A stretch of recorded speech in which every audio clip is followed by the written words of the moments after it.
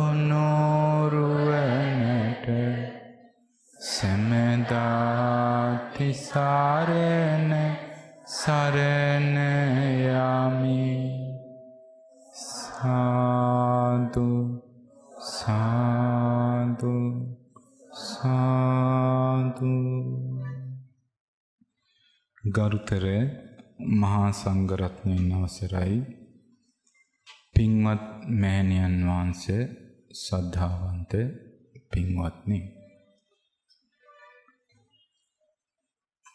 අපි දන්නේ නෑ මිනිස්සු වෙලා ඉපදිච්ච අපිට කොයිතරම් පිනක් අපි රැස් කරගෙන තියෙනවාද නැද්ද කියන එක අපි දන්නේ නෑ. කවුරුත් දන්නවද? කවුරුත් දන්නේ නෑ.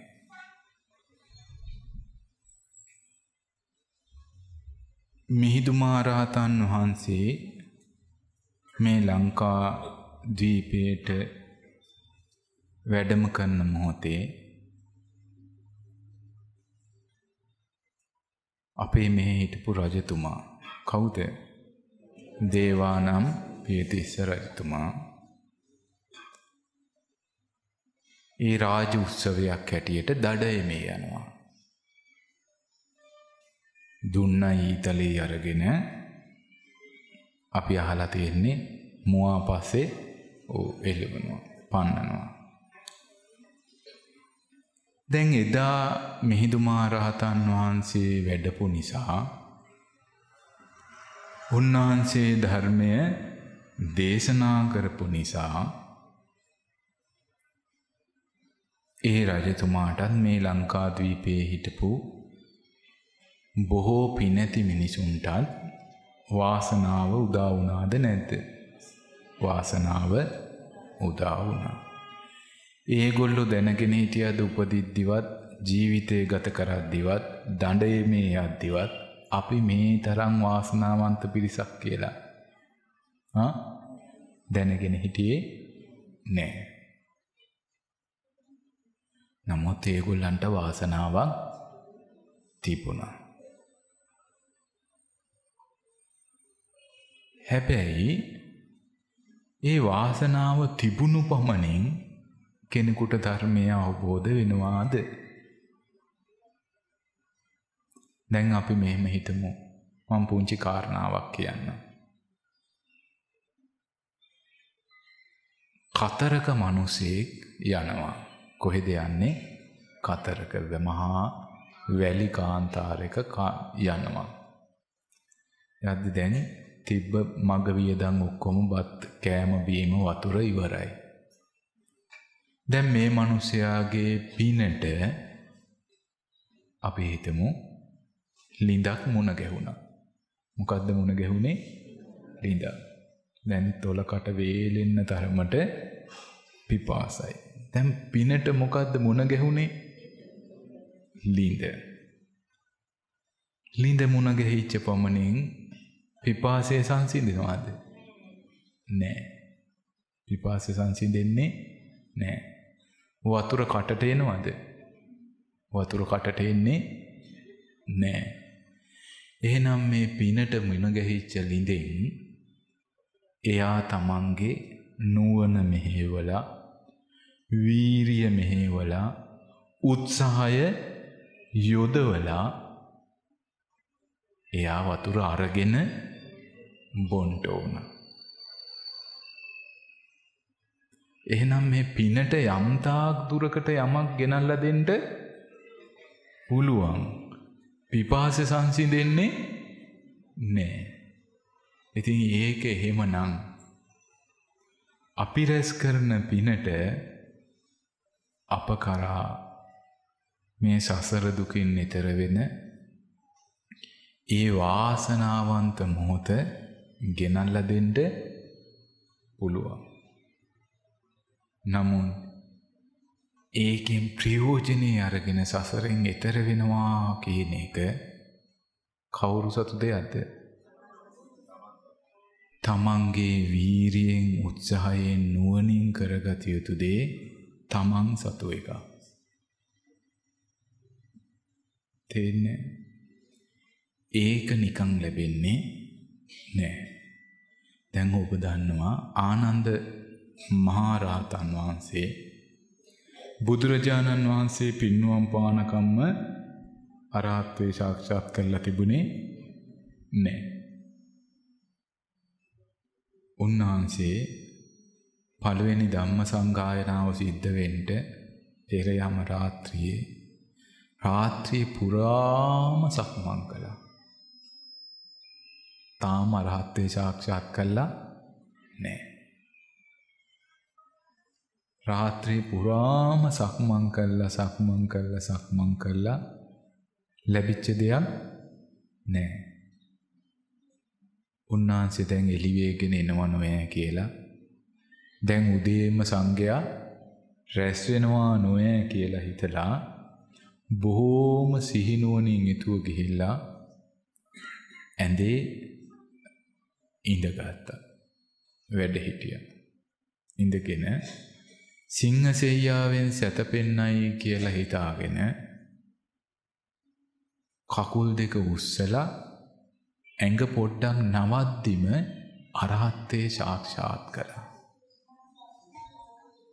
එතකොට බලන්න ඒ අවස්ථාව උන්වහන්සේවත් දැනගෙන ඉන්නවද? ආ දැන් තව විනාඩි දෙකකින් මං අරහත්වේ සාක්ෂාත් කරනවා කියනවා නම් එහෙනම් හොඳට හරි බැරි ගහලා පළඟ ගහගෙන කන්ද කෙලින් කරගෙන ඉඳීවිනේ. එහෙම වේවිද නැද්ද? වේ. නමුත් උන්වහන්සේවත් දන්නේ නැහැ ඒ ඉරියව්ව කඳ කෙලිනුත් නැහැ. ඇලයි. කකුල් දෙක බිමත් නැහැ. උඩයි. තේරුණේ? එවන් මොහොතක ඇයි ඒක ලැබුණේ පිනටද? නෑ. ඒ පින තියෙනවා තමා නමුත් අර ගත්තු උත්සාහය නැත්තම්. ඒ ගත්තු වීරිය නැත්තං. ඒ පිහිටෝපු සීය නැත්තං. ඒ දේ සිද්ධ වෙන එකක් නෑ. ආං ඒ හින්දා මේ පිංහතුන්ටත් වාසනාව තියෙනවා. අපිට වාසනාවක් තියෙන නිසා තමයි මේ විදිහට මේ ඇවිල්ලා තෙරුවන් සන්න ගිහිල්ලා උපෝසත සීලයේ සමාදන් වෙලා මේ ධර්මයේ ශ්‍රවණය කරන්නේ බණ භාවනා කරන්නේ. හැබැයි ඒකෙන් ප්‍රයෝජනේ ගන්නවා කියන එකේ ලැබිච්ච වාසනාවෙන් තම තමන් සතුටයක්. ඉතින් ඒ හින්දා බුදුරජාණන් වහන්සේගේ දහම හොඳට නුවණින් විමසන්ඩ තමන්ගේ ජීවිතයට ගලපන්න උත්සාහයක් ඇති කරගන්නට ඕන. අද මේ පින්වතුන්ට අහන්ට ලැබෙන්නේ ඉගෙන ගන්නට ලැබෙන්නේ සරණ යන්නට ලැබෙන්නේ මේ දහම සරණ යා යුතු එකක්නේ. ඉගෙන ගන්න විතරක් තියෙන එකක් නෙමේ. එතකොට ඒ සරණ යනවා කියන එකේ පිහිටියයි පස්සේ මම මේ දහම සරණ ගියා. ඒ දහමෙන් තොර දෙයක් එයාට ඊට පස්සේ නෑ. ඒක තමයි එයාගේ සරණ. ඒක තමයි එයාගේ ආලෝකය. ඒක තමයි එයාගේ රැකවරණය. මේ පිළිගතුන්ට අද සරණයන්ට ලැබෙන්නේ සංයුක්ත නිකාය තුනේ කන්දක වර්ගයේ චන්න සූත්‍රයේ මොකක්ද නම චන්න සූත්‍රය. චන්න තෙරුන්ට වදාළ දෙසුම. හැබැයි මේ දේශනාව කරද්දි මේ දෙසුම වදාළේ භාග්‍යතුන් වහන්සේ නොවේ. මේ දේශනාව කාරණය සිද්ධ වෙද්දී භාග්‍යතුන් වහන්සේ පිරිනුවම් පාලා. කාලයක් ගත වෙලා ගිහිල්ලා. භාග්‍යතුන් වහන්සේ පින්නුවම් පෑවයි පස්සේ ආනන්ද ස්වාමීන් වහන්සේ දේශනා කරනවා තේර ගාථාවේ. සාරි භාග්‍යතුන් වහන්සේ පින්නුවම් පාන්න ඉස්සෙල්ලමයි සාරිපුත්ත මොග්ගල්ලාන ස්වාමීන් වහන්සේලා පින්නුවම් පෑවේ. ආනන්ද මහරහතන් වහන්සේ දේශනා කරනවා ඉස්සර හිටපු කල්යාණ මිත්‍රයෝ දැන්නේ. දැන් ඉන්න කට්ටිය මට ගැලපෙන්නෙත් නෑ. ඒ හින්දා වැස්සට බයේ කැදැල්ලට රිංගපු කුරුල්ලෙක් වගේ මං කුටියේ දොරවහගෙන තනියම කායානුපස්සනාව සිහි කරනවා කියන. එතකොට ඒ ආනන්ද මහරහතන් වහන්සේ තමයි මේ දේශනාව වදාළේ. බුදුරජාණන් වහන්සේ පින්වම් මංචකේ වැඩ ඉඳමින් පැනෙව්වා මාගේ ඇවෑමෙන් පස්සේ පින්වීමෙන් පස්සේ චන්නට බ්‍රහ්ම දණ්ඩේ පනවන්ට. බ්‍රහ්ම දණ්ඩේ කියන්නේ මොකක්ද ස්වාමීනී කියලා හපුවම චන්නට ඕන කෙනෙක් එක්ක කතා කරන්න පුළුවන්. හැබැයි කිසි කෙනෙක් චන්නට අවවාද අනුශාසනා දෙන්න යන්නේ නෑ. එහෙම කළේ මොකද චන්න ස්වාමීන් වහන්සේගේ මානය බිඳින්ට. චන්න කියන්නේ බුදුරජාණන් වහන්සේ සිදුහත් බෝසතාණන් වහන්සේගේ කුමර කෙලියේ පටන්ම යාළුවා. එකට හිටපු කෙනා. අභිනික්මං කරන දවසෙත් තනියට ආපු එකන් ආපු කෙනා. ඉතින් මෙයත් පැවිදි වුණා. පැවිදි වෙලා බොලා මොනාද දන්නේ මං තමයි ඉස්සර ඉඳන්ම උන්වහන්සේව අඳුරන්නේ කියලා මෙයා පුරසාරන් දොඩ දොඩා අනිත් භික්ෂූන්ට කතන්දර කී කියා මාන්නෙන් හිටියා ධර්මයක් අවබෝධ කළේ නෑ. මෙයාව දමනය කරන්න වෙන කවුරුවත් හිටියේ නෑ. කවුද දමනය කළේ?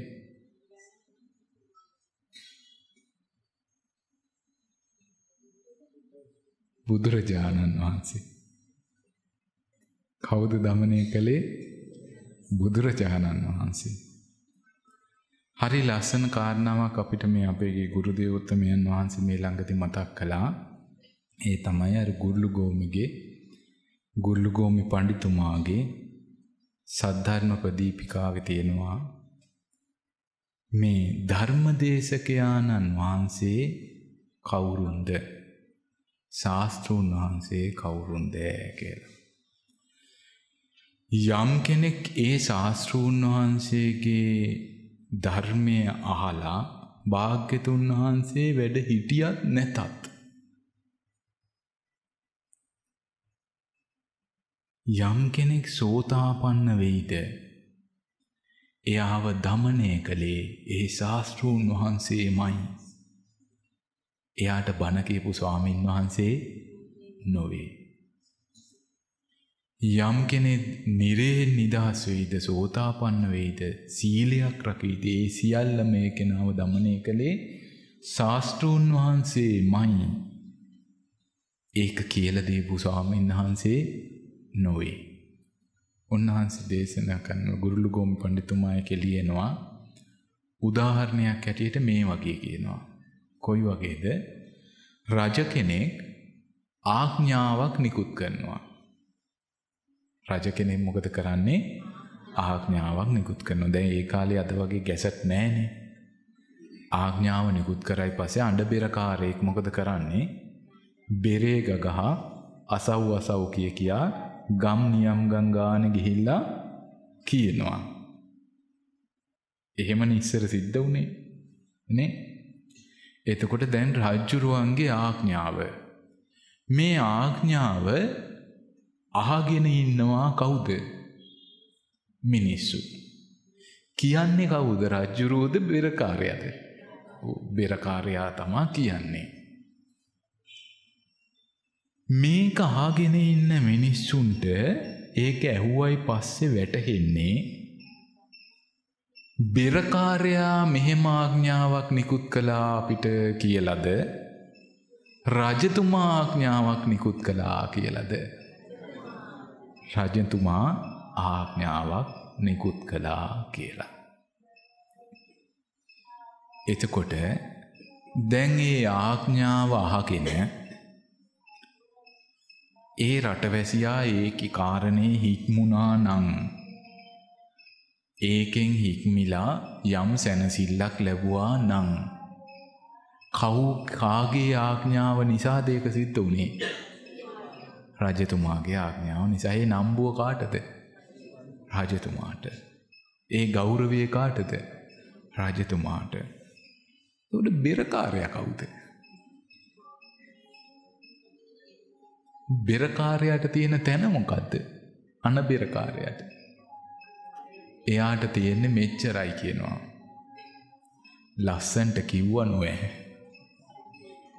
හොඳට සද්දෙට කිව්ව නොවෑ. කියන ගෞරවේ තියෙනවා කියනවා. පැටලැවෙන්න නැතුව කිව්ව නොවෑ. තියෙන ගෞරවේ පොටි එකක් කම්බෙනවා කාටද? බෙරකාරයට දැම්මන් කලින් ඇවිල්ල හොඳට සද්දෙට කවි ටිකක් කිව්වනේ. මකේද? නෑ අපේ ලොකු සාහිනාසකි මම අපිත් එතකොට දේශකයාණන් වහන්සේ ධම්ම කතිකයා වනාහි අර අනබෙරකරුව වගේ. ඒ ශාස්තෘන් වහන්සේගේ ආඥාව තමයි මේ ධම්ම කතිකයන් වහන්සේලා ගෙනල්ලා කියල දෙන්ටෙන්. එතකොට ඒ දමනය වෙන්නේ ශාස්තෘන් වහන්සේගේ ආඥා අනුශාසනාවට මයි.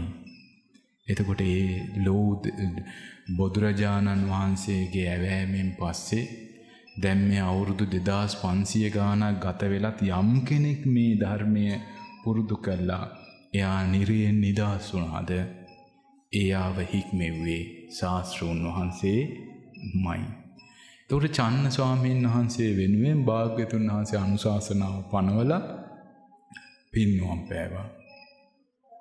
ස්වාමීන් වහන්සේලා බ්‍රහ්මගන්ඩය පැනෙව්වා. පනවල දැම් මෙයාට මෙයාගේ තැන් මාන්නේ හොඳෝටම ඕ දැන් කිසි කෙනෙක් කතා කරන්නේ නෑ කිසි කෙනෙක් ගණන් ගන්නේ නෑ දැන් ශාස්තෘන් වහන්සේත් පිරිනුවම් පාලා. මෙයා කල්පනා කළා මට මොකදෑමේ උනී කියලා. දැන් නිකන් අර හුලංගියා වගේ ඉන්න ඇති පුම්බගෙන ඉඳලා.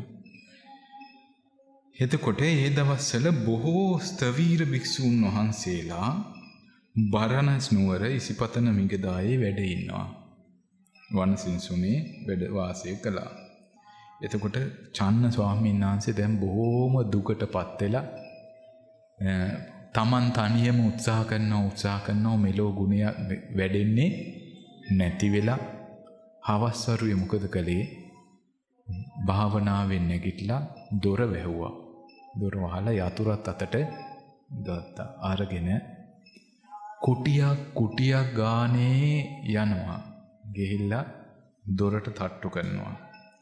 තට්ටු කල්ලා ඕවදතු මං ආයස්මන්තෝ තේරා අනුසාසන්තු මං ආයස්මන්තෝ තේරා අනේ තෙරුන් වහන්ස අනේ පින්වත් ස්වාමීන් වහන්ස ස්තවීරයන් වහන්ස මට අවවාද කරන සේක්වා. මට අනුශාසනා කරන සේක්වා. කරන්තු මේ ආයස්මන්තා තේරා ධම්මින් කතන් යතාහන් ධම්මම් පස්සේ යන්ති. අනේ ස්වාමීනී මාත් එක්ක ධර්මය කතා කරන සේක්වා. ඇයි දැම් මෙච්චරකල් මෙයා කන්දුන්නේ නෑ දැන් ගිහිල්ල කුටියක් කුටියක් ගාන ගිහිල්ල කියනවා අනේ ස්වාමීනී මට අනුශාසනා කරන්නට. අනේ ස්වාමීනී මට අවවාද කරන්න අනේ ස්වාමීනී මාත් එක්ක ධර්මය කතා කරන්නට කියලා වැඳ වැඳා කියනවා. කොහින්දලද බරණැස ඉසිපතන මිගදාය.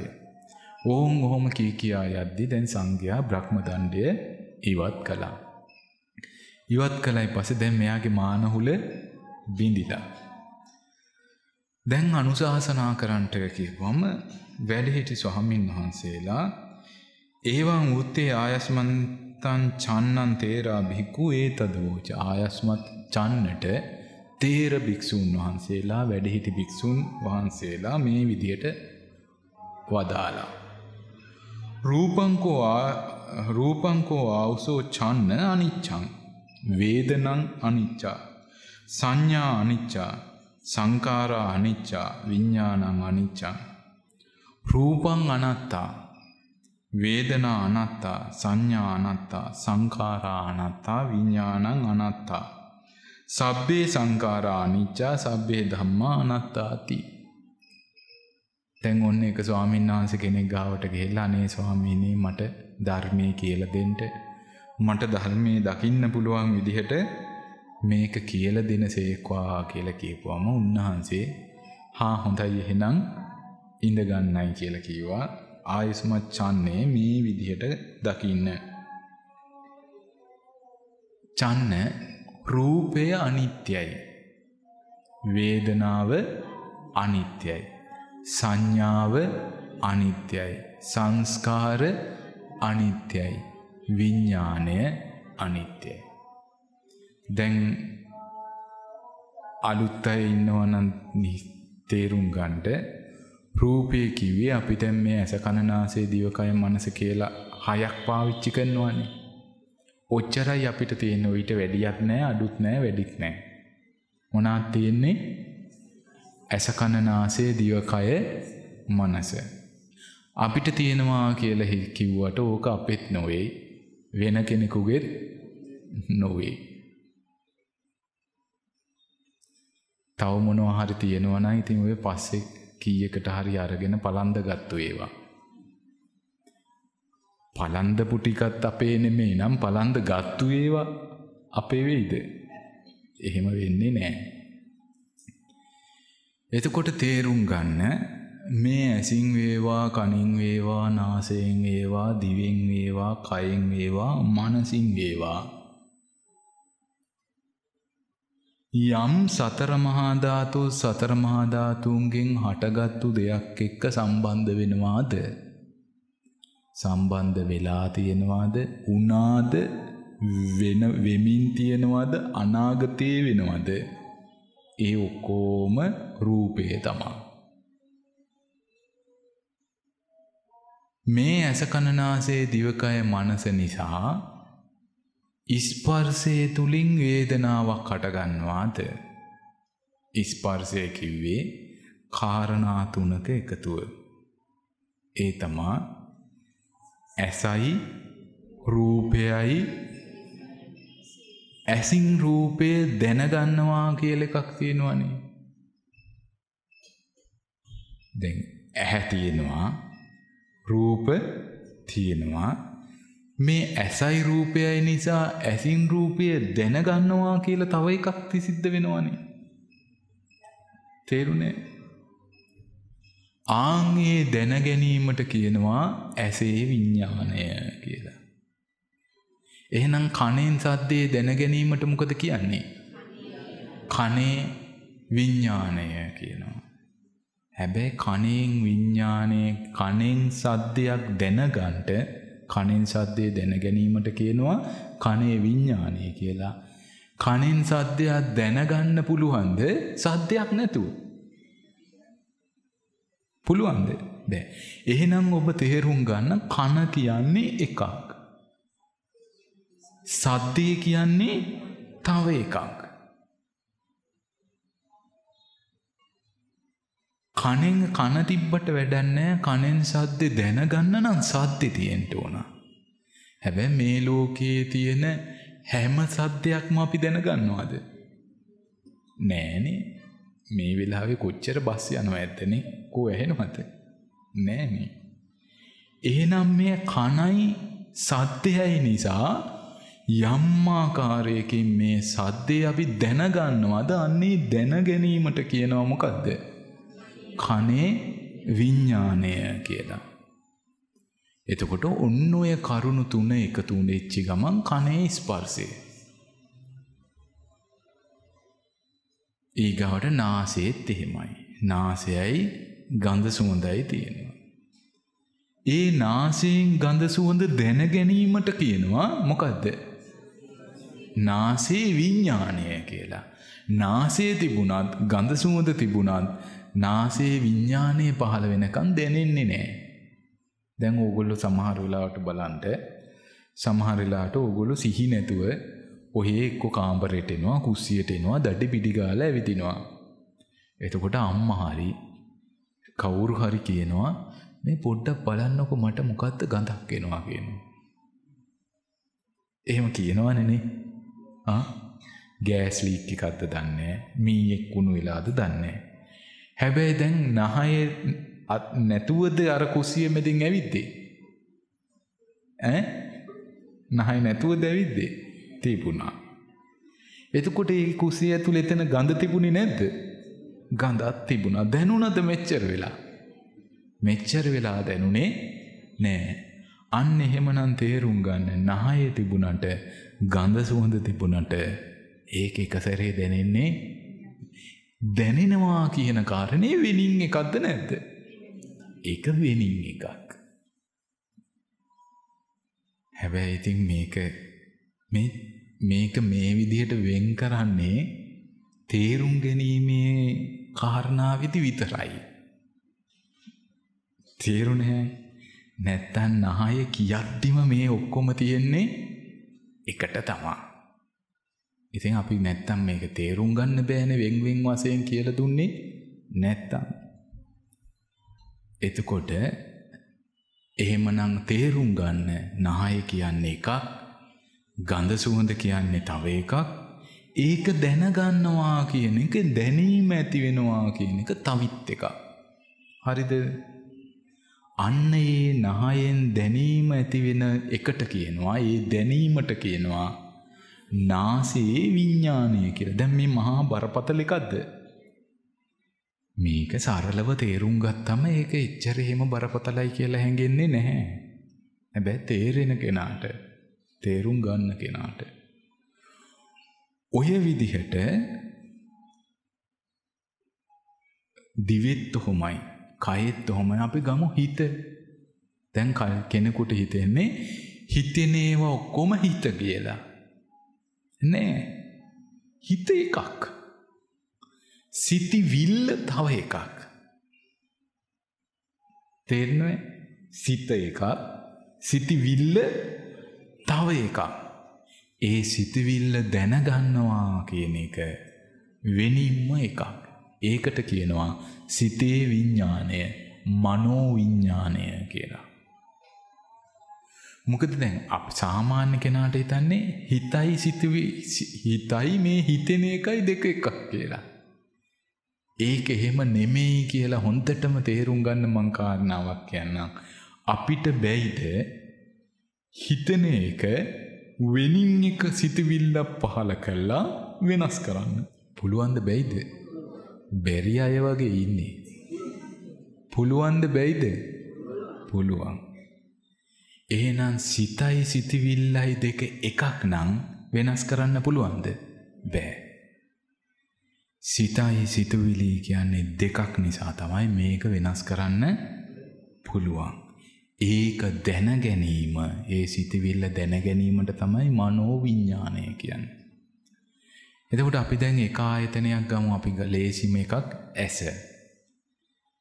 ඇස නිසා ඇසයි රූපයයි ඔන්න ඔය දැනගැනීමයි කියන කරුණු තුන එකතුවීමට කියනවා ඇසේ ස්පර්සය කියලා. තින්නං සංගති පස්සු කරුණු තුනක එකතුවීම ස්පර්සයයි. ඔය ස්පර්සය සිදුවුණ ගමන් අතරක් නැතිව ඉස්සරහා පසු නැතිව කාරණා තුනක් හටගන්නවා. ඒ තමයි වේදනාව හටගන්නවා සංඥාව හටගන්නවා චේතනාවක් හටගන්නවා. වේදනාව කියපුවම සමහරුන්ට හිතෙන්නේ මේ වේදනාව කියන වචනේ අපි පාවිච්චි කරන්න පුරුදු වෙලා තියෙන්නේ දුකටනේ. දුක නෙමෙයි මෙතන වේදනාව කියන්නේ. දුකත් වේදනාවක් සැපත් වේදනාවක් සැපයි දුකයි නැති මධ්‍යස්ථ භාවයත් වේදනාවක්. ඔය වේදනා කියන එක හටගන්න. හරිද? ඊගාවට ඔය ඇසයි රූපයයි ඇසෙන් රූපයක් දැන ගැනීමයි කියන කරුණු තුනේ එකතු වීම ස්පර්ශයයි කියවනේ. ඒක හටගත්තු ගමන් සංඥාව සංඥාව කියන එක හටගන්නවා. ඒක සංඥාව කියන්නේ හඳුන ගන්නවා. තේරුණේ? එතකොට ඒකට කියනවා සංඥාව කියලා. දැන් හඳුනන්නේ නැති දෙයක් අඳුනගත් දැක්කොත් මොකද වෙන්නේ? දැන් අඳුනගන්න බැරි එකක් හඳුනගත්තොත් දැක්කොත් එතකොට වෙන්නේ මේක හඳුනන්න බෑ කියලා හඳුන ගන්නවා.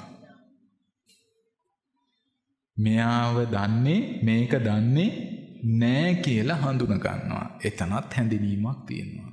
ඊගාවට චේතනාවක් පහළ වෙනවා. ඔය කරුණු තුන එකතු වෙච්ච ගමන් ඇහැයි රූපයයි ඇසේ විඤ්ඥානය ඇසේ විඤ්ඥානය කියන එක දැනගන්න ඇහෙන් මේක දැනගත්තු ගමන් දැනගන්නවා කියන කාරණය. ඔය කරුණු තුන එකතු වෙච්චි ගමන් චේතනාවක් පහළ වෙනවා. දෙන්න ඔය තුන ඕව එකක්වත් වෙන් කරන්න බෑ තේරුම් ගන්න වෙන් කරන්නේ. ඕක මේකයි කියලා පෙන්නන්න බෑ. ඒක අර හරිය ලස්සන උපමාවක් තියෙනවා මං හැමදාම මේ කිය මතක් කරලා දෙනවා. අර මිලිඳු ප්‍රශ්නේ තියෙන්නේ හොද්දේ තියෙන ලුණු, ඇඹුල්, දුරු, ගොරකා ඒ රස වගේ. රස තියෙනවා කියලා දැනෙනවා. වෙන් කල්ලා පෙන්නන්න බෑ මේ ලුණු රස කියලා පෙන්නන්න බෑ. මේ දුරු රස මේ කුරුඳු රස කියලා පෙන්නන්න බෑ හැබැයි තියෙනවා කියලා දන්නවා. එහෙමනේ ආන් ඒ වගේ එකක්. එතකොට ඔන්න වේදනා සංඥා චේතනා තියෙන. ඇසයි රූපයයි කියද්දිම එතන අර කලින් ගියපු රූපේ තියෙනවා. සතර මා ධාතු සතර මා ධාතුන්ගෙන් හටගත්තු දේවල් තියෙනවා. විඥාණය කියද්දිම මොකක්ද තියෙන්නේ? ඕ නාම රූප වලින් හටගත්තු විඥානයක් තියෙනවා. එහෙනම් මෙතන ඇසින් රූපයක් බලනවා කියද්දිම කාරණා පහක් තියෙනවා. ඒ තියන්මයි රූපේ තියෙනවා, වේදනාව තියෙනවා, සංඥාව තියෙනවා, චේතනාව තියෙනවා. චේතනාවට පාවිච්චි කරන නම තමා සංස්කාර. චේතනාව තියෙනවා සංස්කාර තියෙනවා. විඤ්ඥානය තියෙනවා විඤ්ඥානය කියන ඒ ඔක්කොම ටික දැනගනීම තියෙනවා. තේරණෑ ඔන්න ඔය පහ තමා මේ චන්න ස්වාමීන් වහන්සේට අර තේර භික්‍ෂූන් වහන්සේලා කියන්නේ රූපංකෝ රූපංකෝ අවසෝ චන්න අනිච්චං වේදනා අනිච්චා සංඥා අනිච්චා සංකාරා අනිච්චා විඤ්ඥානං අනිච්චං.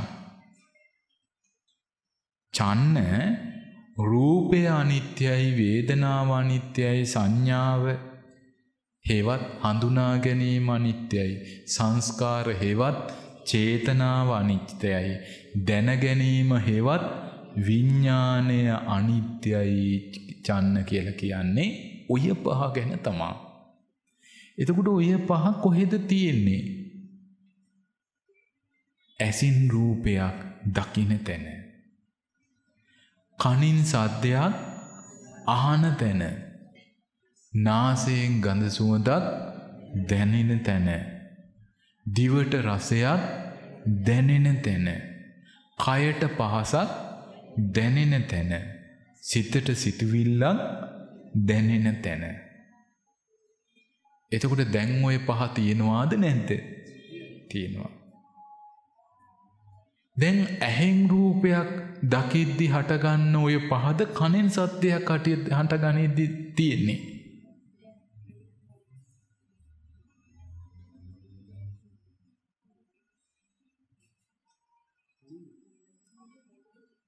ඇහෙන් රූපයක් දකිද්දී දැන් අපි හිතමු ඇහෙන් රූපයක් දකිනවා.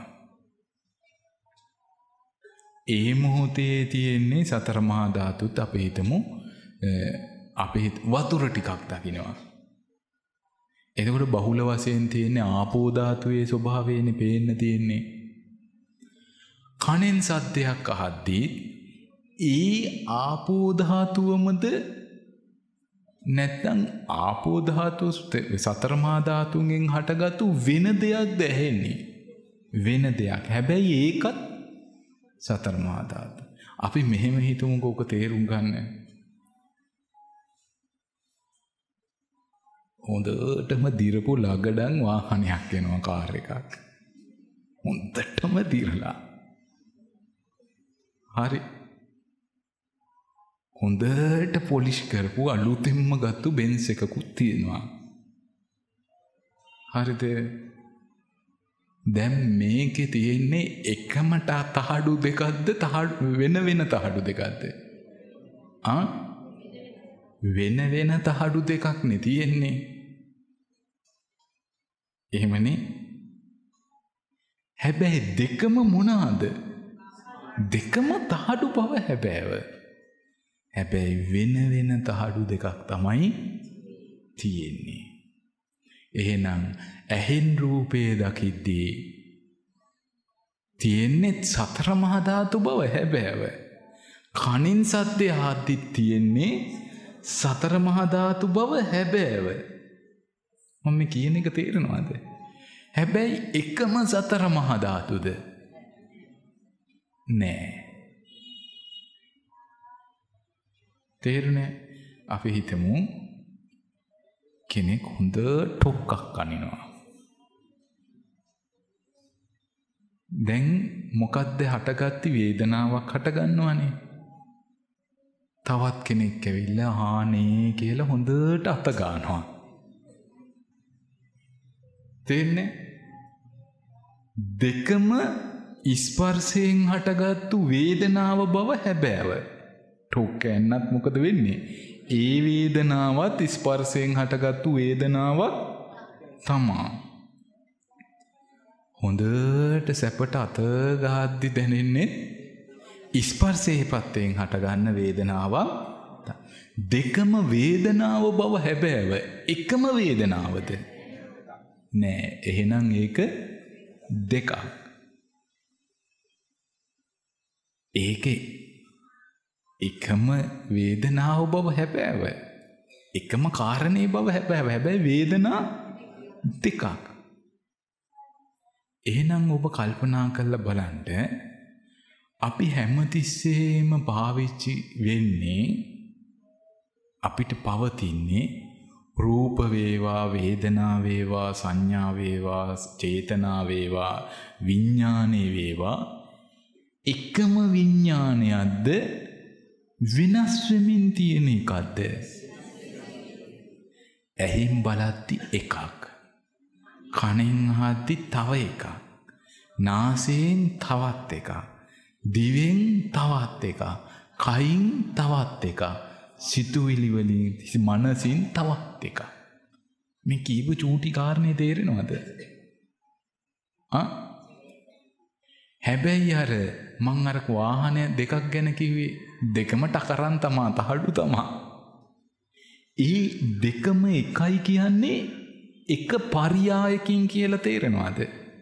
පරියාය කියන්නේ ඊට වැඩීමට එක ක්‍රමයක් එක කියන ක්‍රමයක්.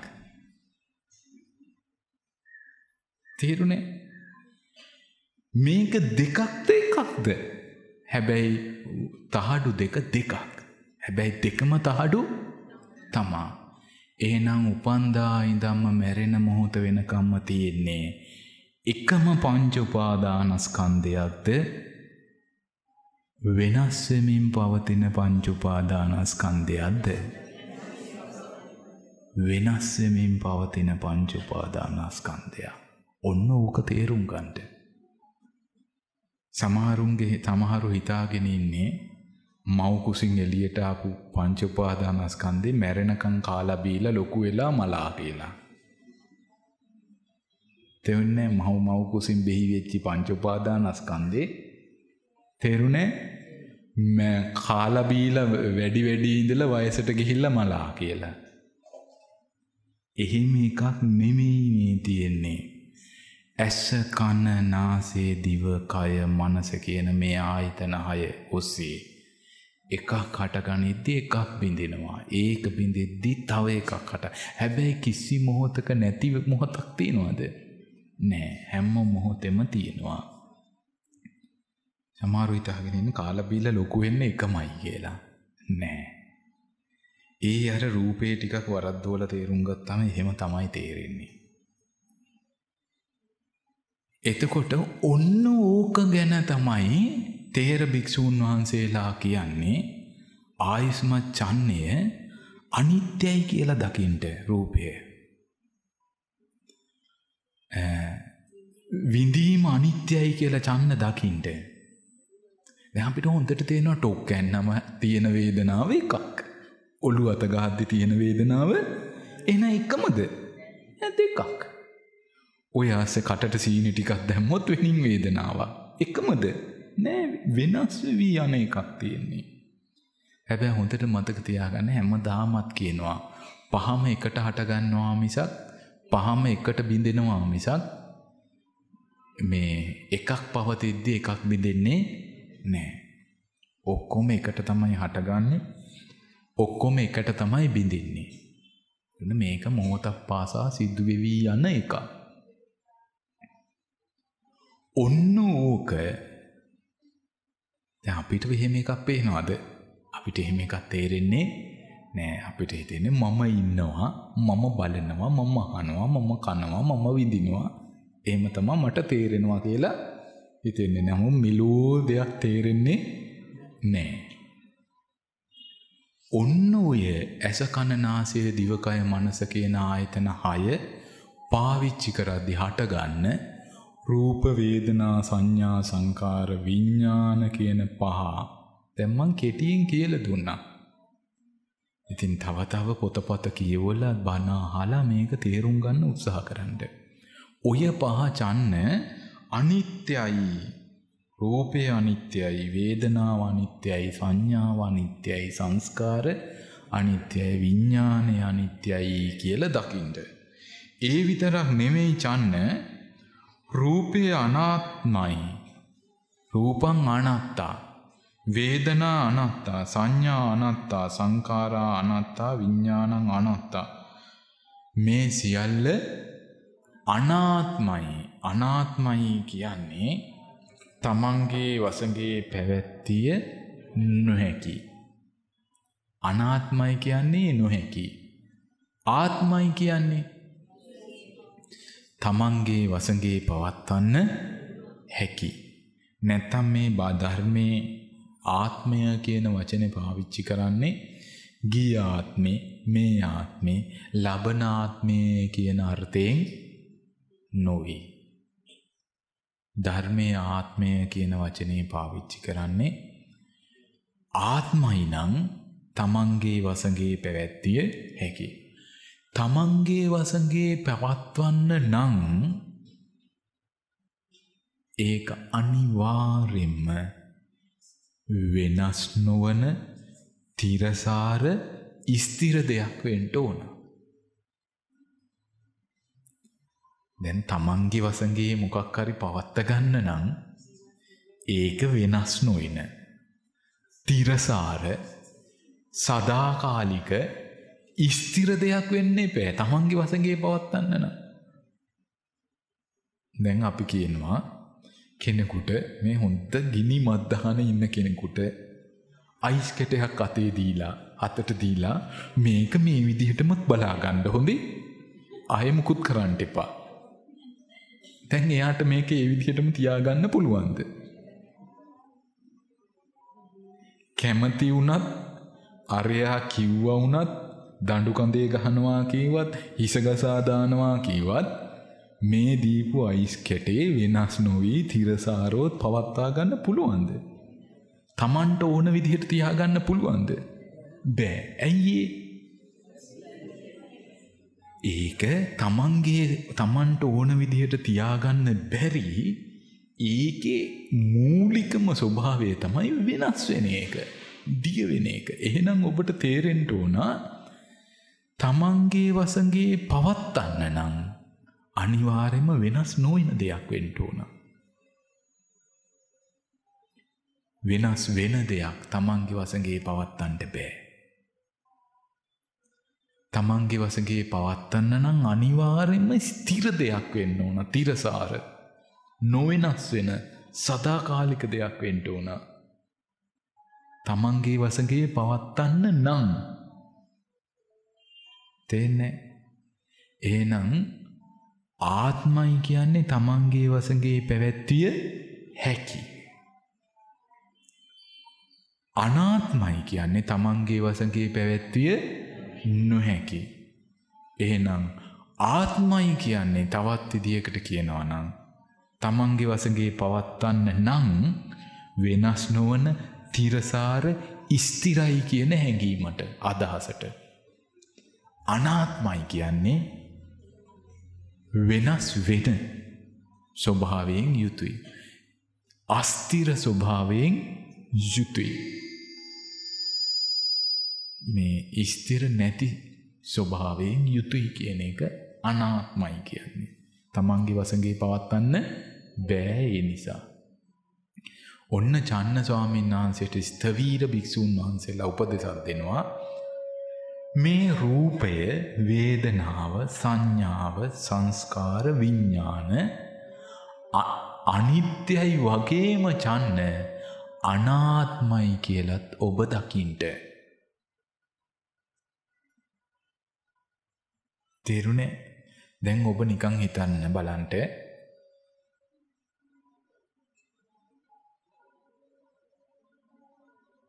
දැන් අපි පටන්ගද්දි කවි ටිකක් සජ්ජායනා කරන්නේ. දැන් ඒ හඬ මේ හැමෝම තාලෙට කියපු හඬ තාම තියෙනවද? නෑනේ. දැන් තමන් කැමති වුණත් ඒ හඬ රැව්පිලි දැව්දිදී තිබෙත්වා කියලා.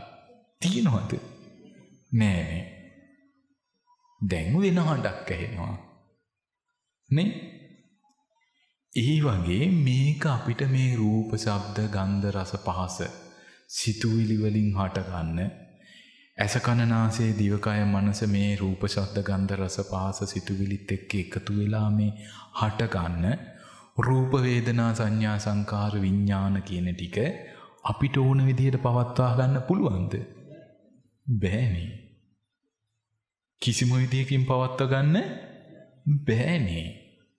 එහෙනම් මේවා ස්ථිරද? නෑ අස්තිරයි. ඒ කියන්නේ අනිත්‍යයි. මේවා තමන්ගේ වසඟේ පැවැත්විය හැකිද? බෑ. ඒ කියන්නේ අනාත්මයි. ඔන්න ඔහොම දකින්ට කියලා කවුද කීවේ? ස්තවීර භික්ෂූන් වහන්සේලා චන්න ස්වාමීන් වහන්සේට උපදෙස් දුන්නා. දුන්නම චන්න ස්වාමීන් වහන්සේ හිතනවා අතකෝ ආයස්මතෝ චන්නස්සේ තද හෝසි.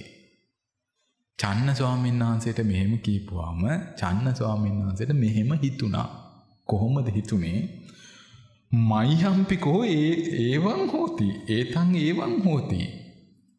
අනේ මමත් මේ කාරණේදී ඔහොම තමා. රූපං අනිච්චං වේදනා අනිච්චා සංඥා අනිච්චා සංඛාරා අනිච්චා විඥානං අනිච්චං මමත් ඉතින් කල්පනා කරන්නේ රූපය අනිත්‍යයි කියලා තමයි ඉතින් මං ස්ථිරයි කියනොවේ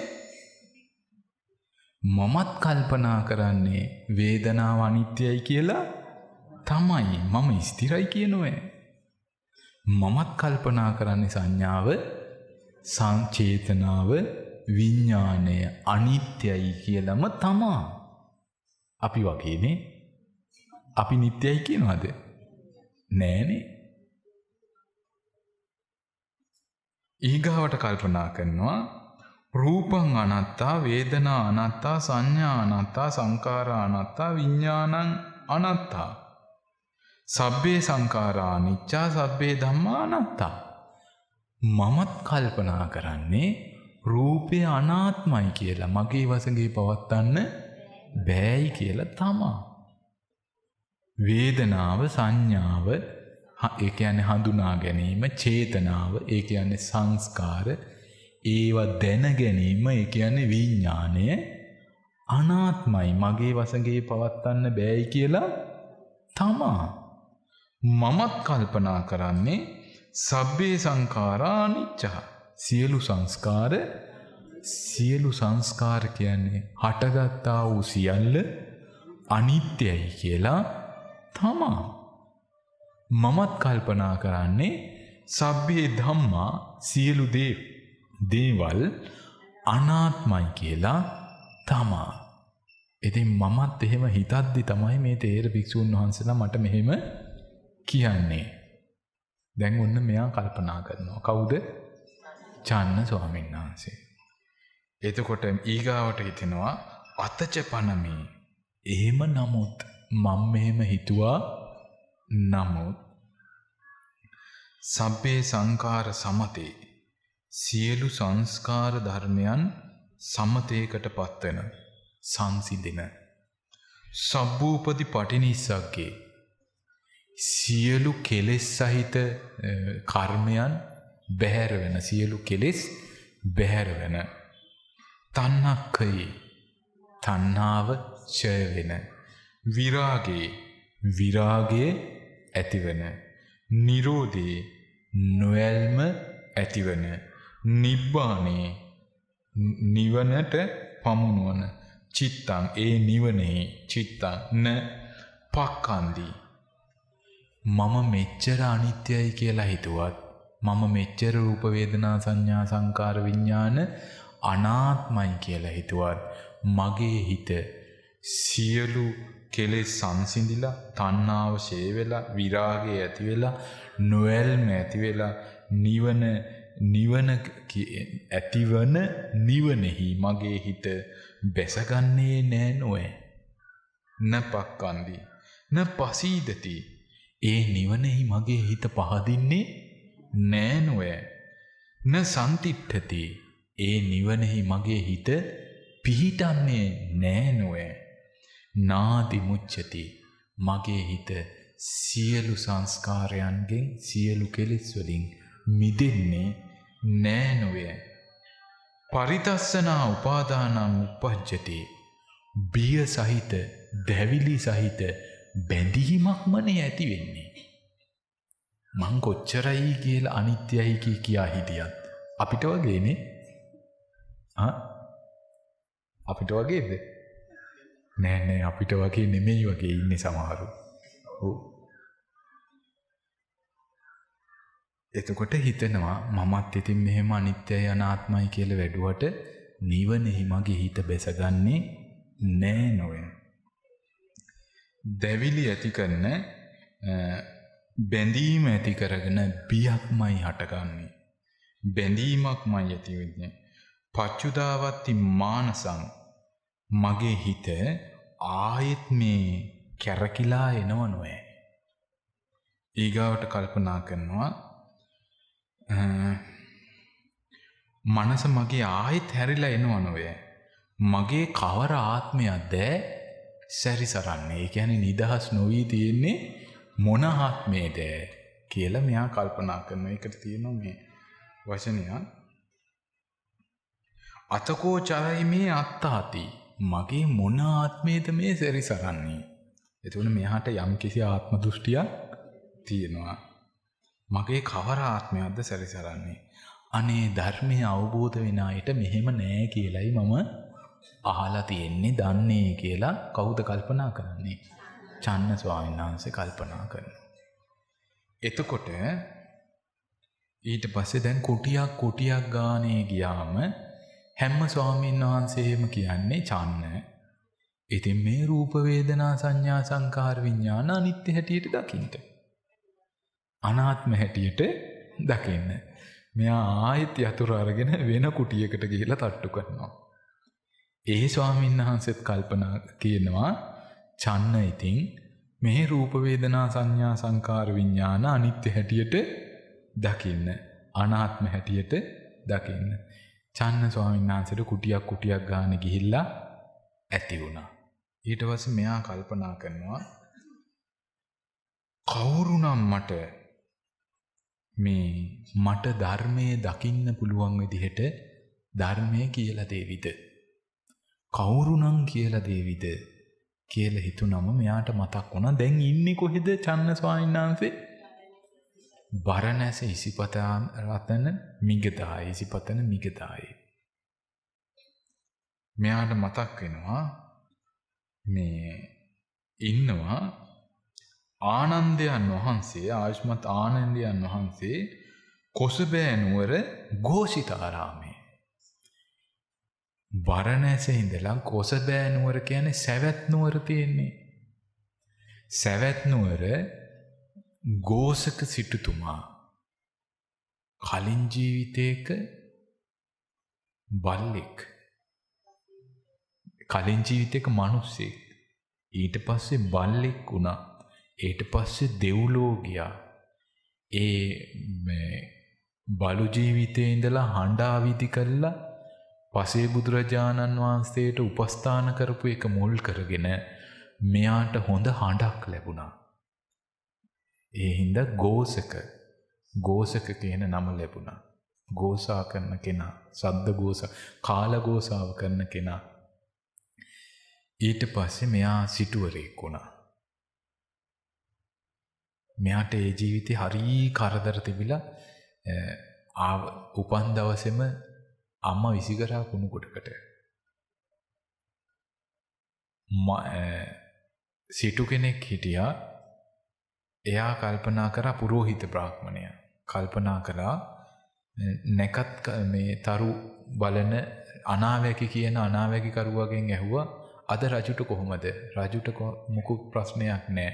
අපිට කොහොමද? ඔබලාටත් කිසි ප්‍රශ්නයක් නෑ. අද මුකුත් විශේෂත්වයක් තියෙනවද? කියලා ඇහුවා. එතකොට කිව්වා විශේෂත්වයක් තියෙනවා කිව්වා. අද ඉපදිච්ච කොළුවා මේ ජනපදේ. මේ මුළු පලාතේම මුළු මේ මුළු රටේම අග සිටු වෙනවා කිව්වා. එතකොට පුරෝහිත බ්‍රාහ්මණයා කල්පනා කරනවා අපේ නෝනටත් දරුවෙක් හම්බෙන්න හිටියානේ. ලැබුණද දන්නේ නැහැ කියලා ඉක්මනට පණවිඩියක් ඇව්වා. එතකොට අනේ ලැබිලා නැහැ. ඊට පස්සේ හිතුවා දැන් අද හම්බෙච්චි අද ඉපදිච්චි දරුවා අග්ග සිටු වෙනවා නම් මේ රටේ එහෙනම් මගේ දරුවට හොඳ කලක් යන්නේ නෑ. එහෙනම් මම මේකව හොයා ගන්න ඕන. මගේ නෝනට පිරිමි දරුවෙක් උපන්නොත් මම මේකව මරනවා. මගේ නෝනට ගැහැණු දරුවෙක් ඉපදුනොත් මම මේකට කසාද පන්දල දෙනවා. හෙව්වා හොයාගත්ත හෙව්වා හෙව්වා හෙව්වා හම්බුනේ නෑ.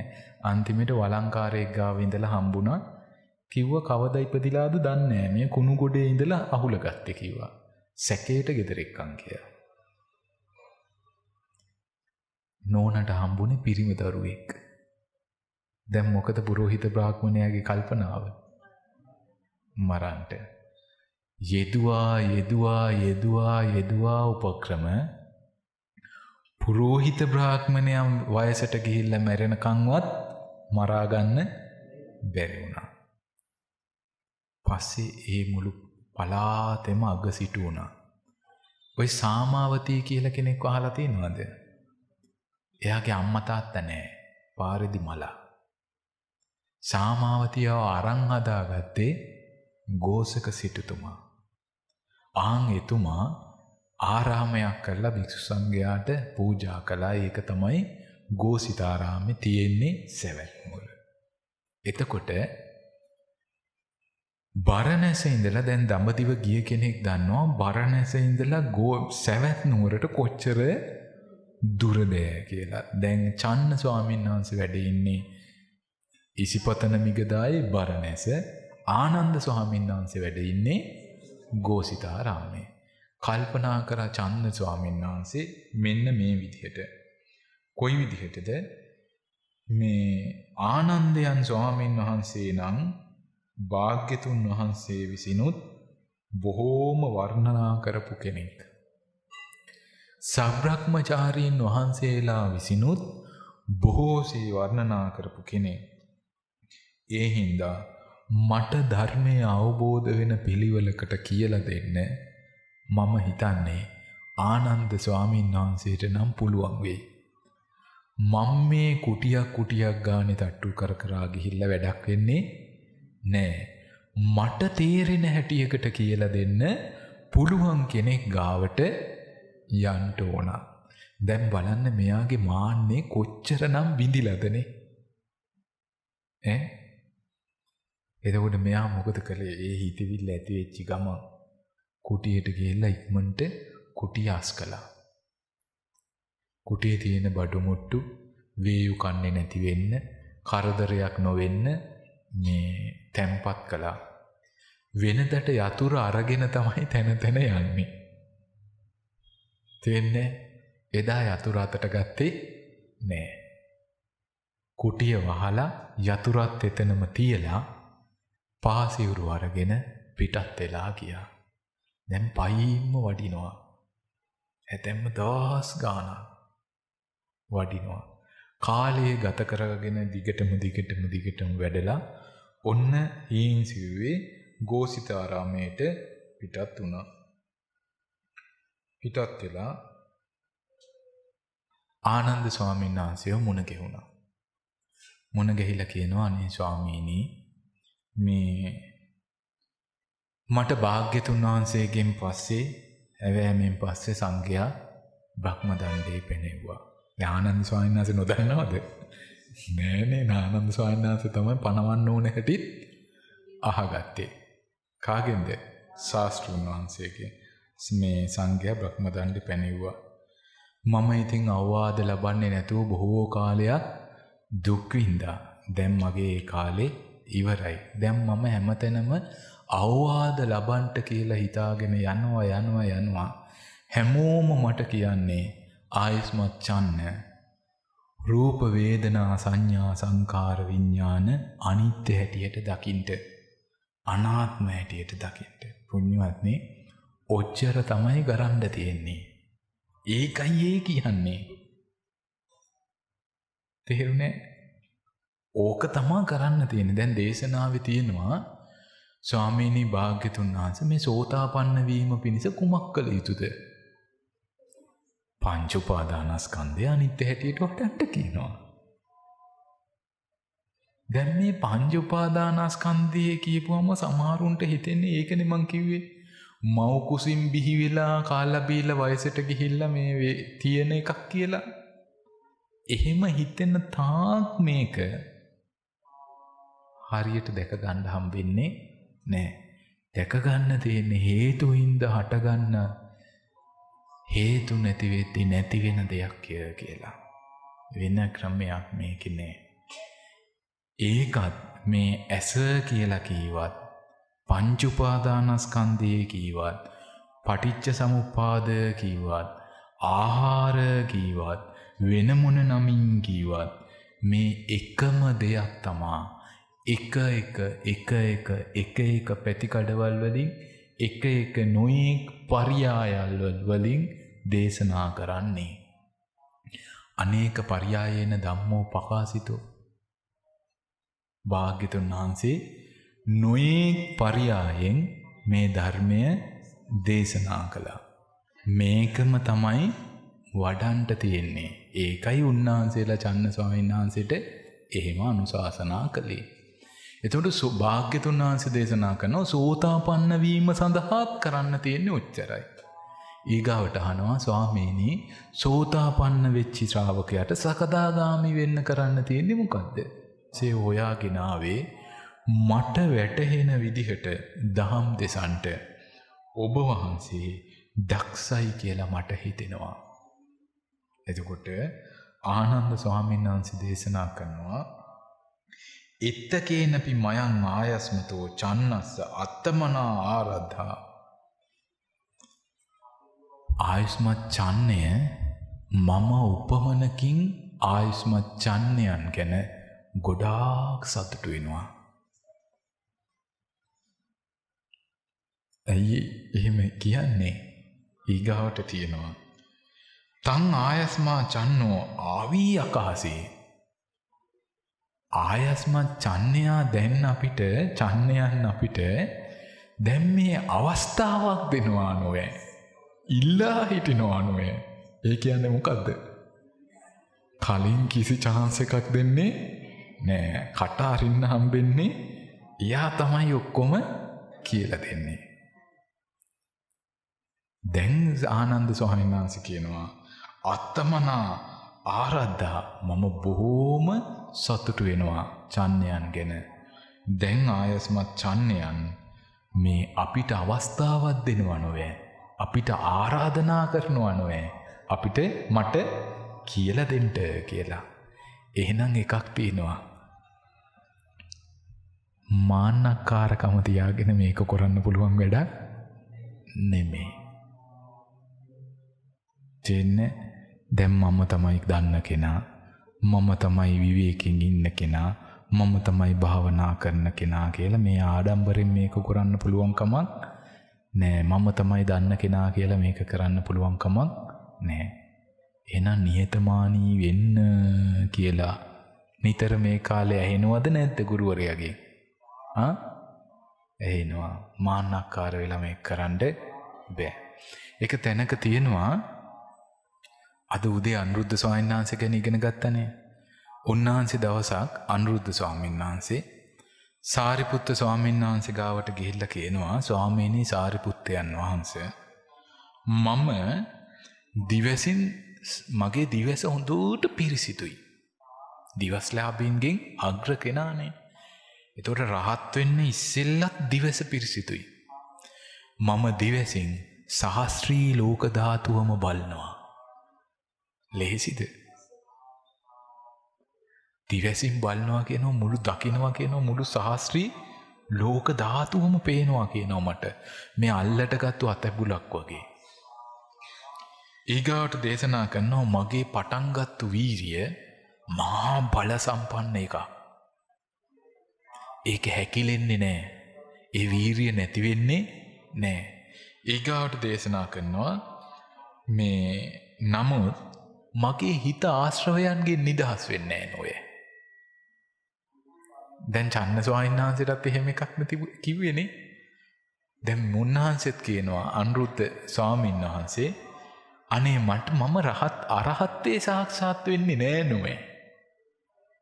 එතකොට සාරිපුත්ත ස්වාමීන් වහන්සේ දේශනා කරනවා ඔබ දැන් මට කියද්දිම කිව්වනේ මම දිවසින් සහස්ත්‍රී ලෝකධාතුවම බලනවා කියලා තේරුණේ?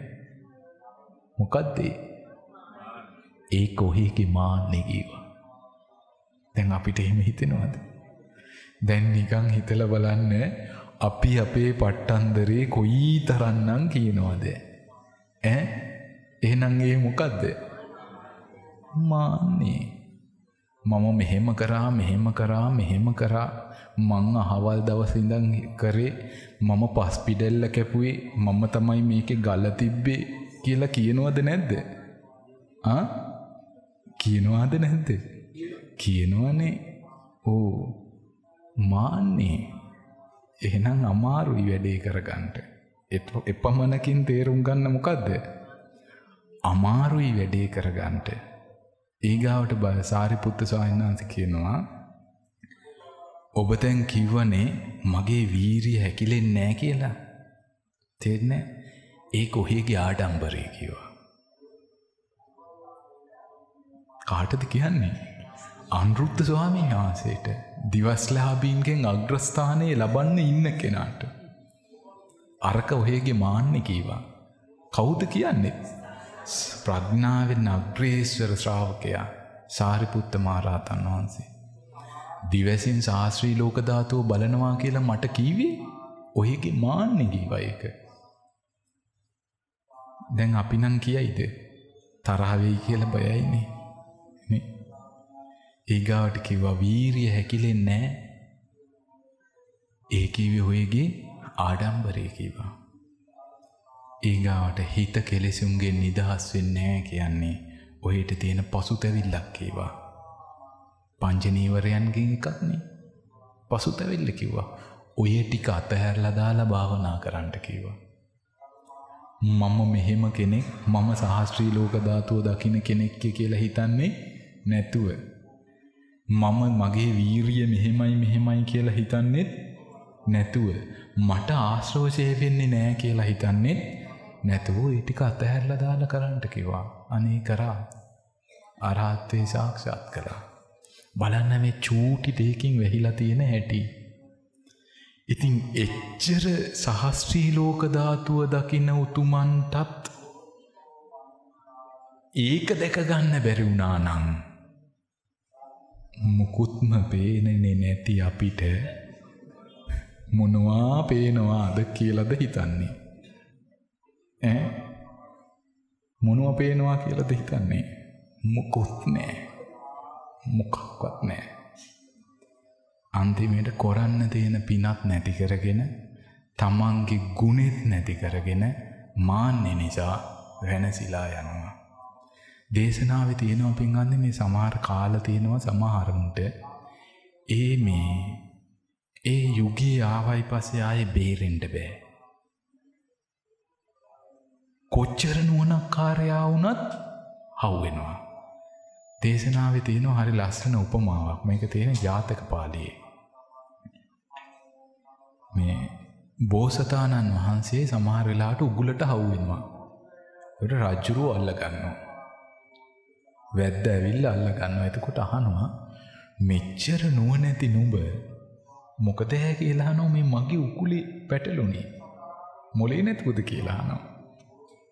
මගේ වලේ වැටුනේ එතකොට හරි ලස්සන උපමාවත් දේශනා කරනවා බෝසතාණන් වහන්සේ.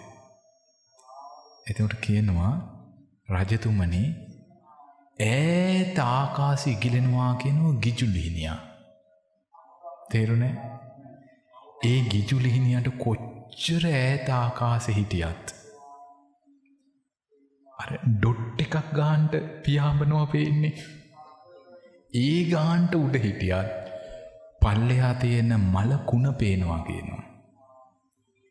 තෙන්න පල්ලෙහා තියෙන ගොදුර මලකුණ පේනවා කියනවා උට ඒ තරම් තීක්ෂණ ඇස් දෙකක් තියෙනවා. හැබැයි ගිජුලිහෙනයෝ අල්ලන වැද්දා මේ මලකුණ තියලා මල පුඩුව අමුණනවා කියනවා ඒකේ. තෙරුණේ ඒකගේ වෙලාව ආපු දවසට වෙලාව කියන්නේ මොකක්ද? කර්ම දෝෂය මතුවෙච්චි දවසට අච්චර තීක්ෂණ ඇස් දෙකක් තිබුණත් මල කුණ පේනවා කියනවා. කවදාකත් මල පුඩුව පේන්නේ කියනවා. ඒ වගේ කර්මය විපාක දෙන දවස ආපුවාම කොයි තරම් තීක්ෂණ නොහනක් තිබ්බත් ඒ උගුලෙ හව්වෙනවා කර්මය විසින් හදල දෙන තැනට පැටලෙනවා. පැටලුනයි පස්සේ අමාරුවෙන් අමාරුවට යනවා මිසක් ආයි බේරිල්ලක් නෑ. ඒ වගේ තමා කියනවා. තේරෙන්නේ? ඉතින් ඔන්න ආනන්ද ස්වාමීන් වහන්සේ සතුටු වුණා. සතුටු වෙලා හරි ලස්සන වචනයක් කියනවා. කියනවා කීලම් පබින්දි. ආයුෂ්මත් චන්දයන් වහන්සේ මානය නැමැති කීලය. ගල් කනුව බිඳල දැම්මා. සුනු විසුණු කළා. ඕදහාවසෝ චන්නන් සෝතං චන්නේනි එහෙනම් කන්යොමන්ඩ. බබ්හාසි දමයන් ධම්මං විඤ්ඥානු තුති. දැන් නුඹ ධර්මය අවබෝධ කරන්න බෞ්‍යයි. ඒක ඇනේ දැන් ඔබට ධර්මය අවබෝධ කරන්න පුළුවන්ගේවා. මොකක් බිඳිච්ච දවසෙද මාන්නේ බිඳාරපු දවසේ දැන්නුඹ ධර්මය අවබෝධ කරන්නට සුදුසුයි කන් යොමන්ට කිව්වා. එතකොට මේක තියෙනවා උලාරම් පීතිපාමෝජ්ජං උප්පච්චති බබ්බෝ කිරස්මින් ධම්මං විඤ්ඥා විඤ්ඥාතුන්ති. එතකොට චන්න ස්වාමීන් වහන්සේට උලාර ප්‍රීති ප්‍රාමෝජ්ජයක් උපන්නා. චන්න ස්වාමීන් වහන්සේට මෙච්චර කල් වැටිලාන හිටියේ. ලොකූ ප්‍රීතියක්. උලාර කියන්නේ විශාල. උතුම් ප්‍රීතියක් හටගත්ත චිත්ත සන්තානයේ මොකක් එක්කද? අර ආනන්ද ස්වාමීන් වහන්සේ වදා මතක් කළා. බබ්බෝ කිරස්මින් ධම්මං විඤ්ඤාතුන්ති. ධර්මය දකින්න නුඹ දැන් සුදුසුයි.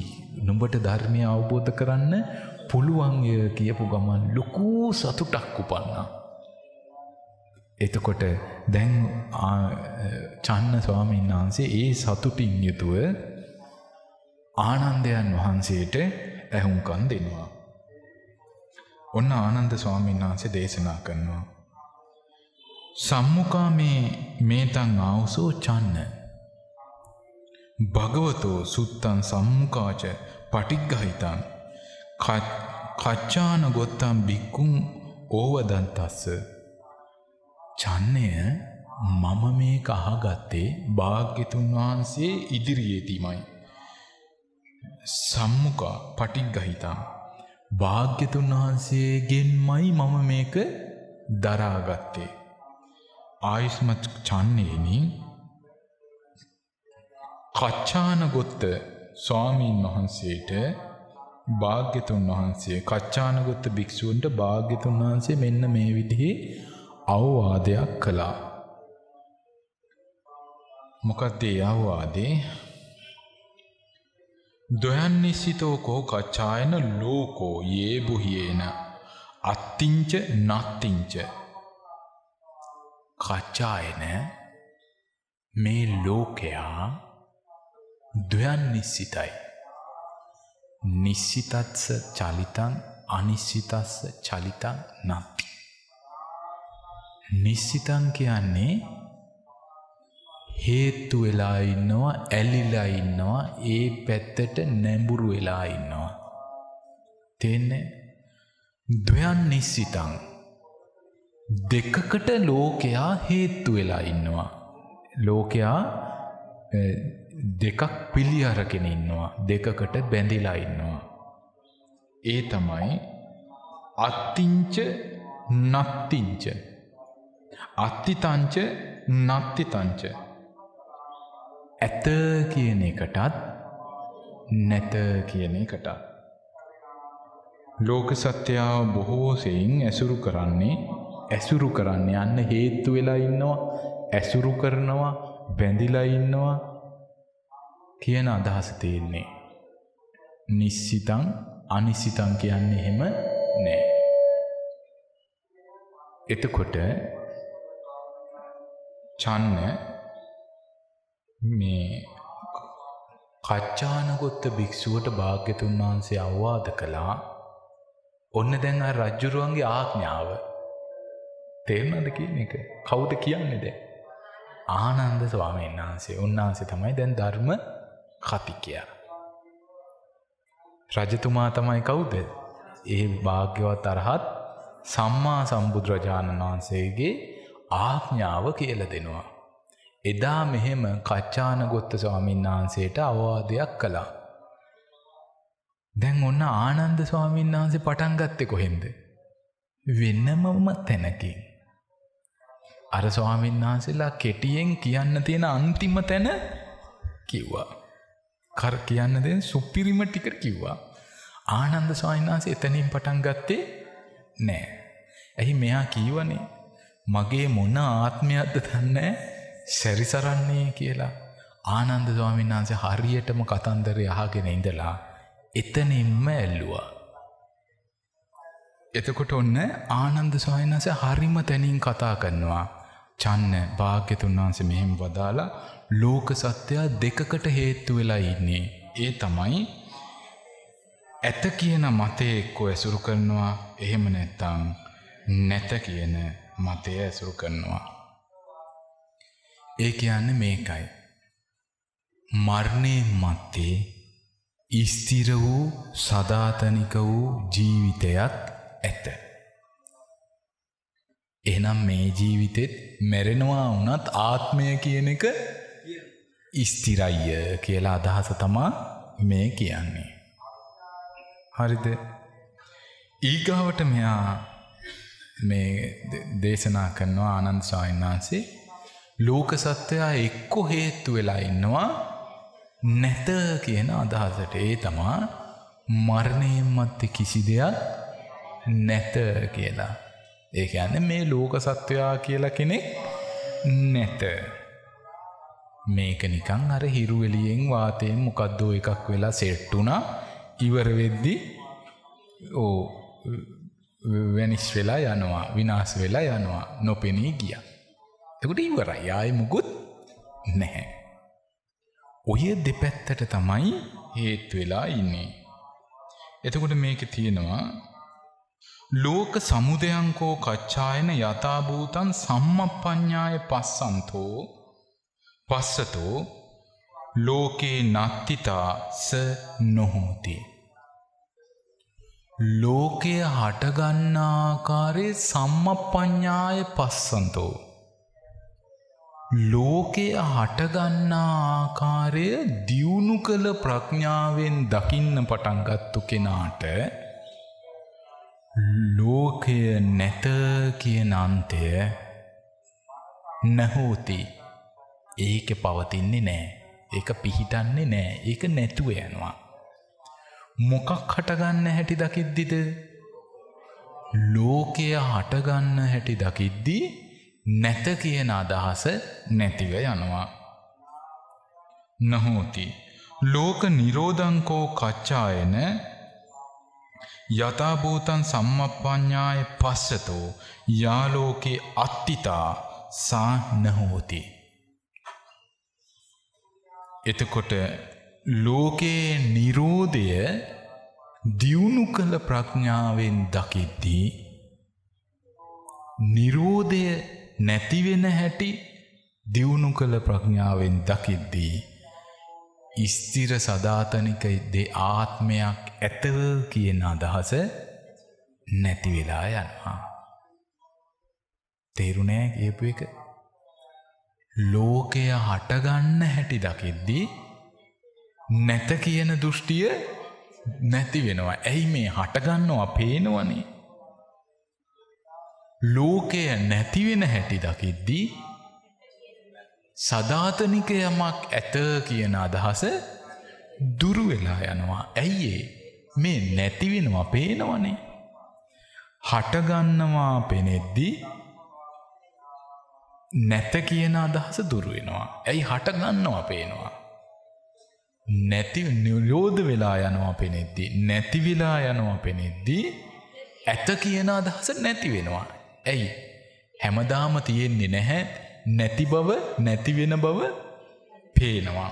ඊගාවට දේශනා කරනවා කච්චායන මේ ලෝක සත්‍යයා ඔන්න ඔය අන්ත දෙකේ ඇත්තටම බැසගෙනයි ඉන්නේ. බැඳිලා ඉන්නේ. දැඩිව විලිලා ඉන්නේ. දැඩිව බැඳිලා ඉන්නේ. නමුත් දියුණු කරපු ප්‍රඥාවකින් දකිද්දී එයාට ඒ බැඳීමක් ඇද්ද සිතින් කළ අදිටනක් ඇද්ද බැසගැනීමක් ඇද්ද ඒකට පැමිණෙන්න බැරුව යනවා. කලින් හිතාගෙන හිටියනං ඇත කියලා ඒකේ ඉන්නත් බෑ මොකත් දකිද්දෙද ලෝකයේ නැතිවීම දකිද්ද ඇත කියන අන්තයේ ඉන්න බෑ. ඊගාවට ලෝකයේ හටගැනීම දකිද්දි නැත කියන අන්තේ ඉන්නත් බෑ. බැසගැනීමක් ඇද්ද බැඳින්නේ නෑ. මාගේ ආත්මය කියලා ඒ කෙනාට අදහසක් ඇති කරගන්ට බැරුව යන. ඇයි ඇහුවනේ මගේ මොනාත්මෙද දන්නෑ මේ සැරිසරන්නේ කියලා ඒ අදහසේ ඉන්නත් බෑ. එයාට පේන්නේ මෙච්චරයි. මොකක්ද. එයාට පේන්නේ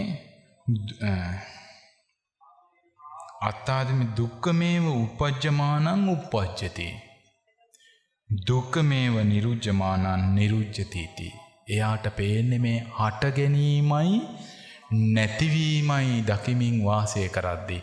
හට ගැනීම නැති දකිද්දි නැත කියන අන්තේ දුරුවෙනවා නැතිවීම දකිද්දි ඇත කියන අන්තේ දුරුවෙනවා එහෙම දකිමින් වාසය කරන කෙනාට පෙනෙන්නේ මෙච්චරයි.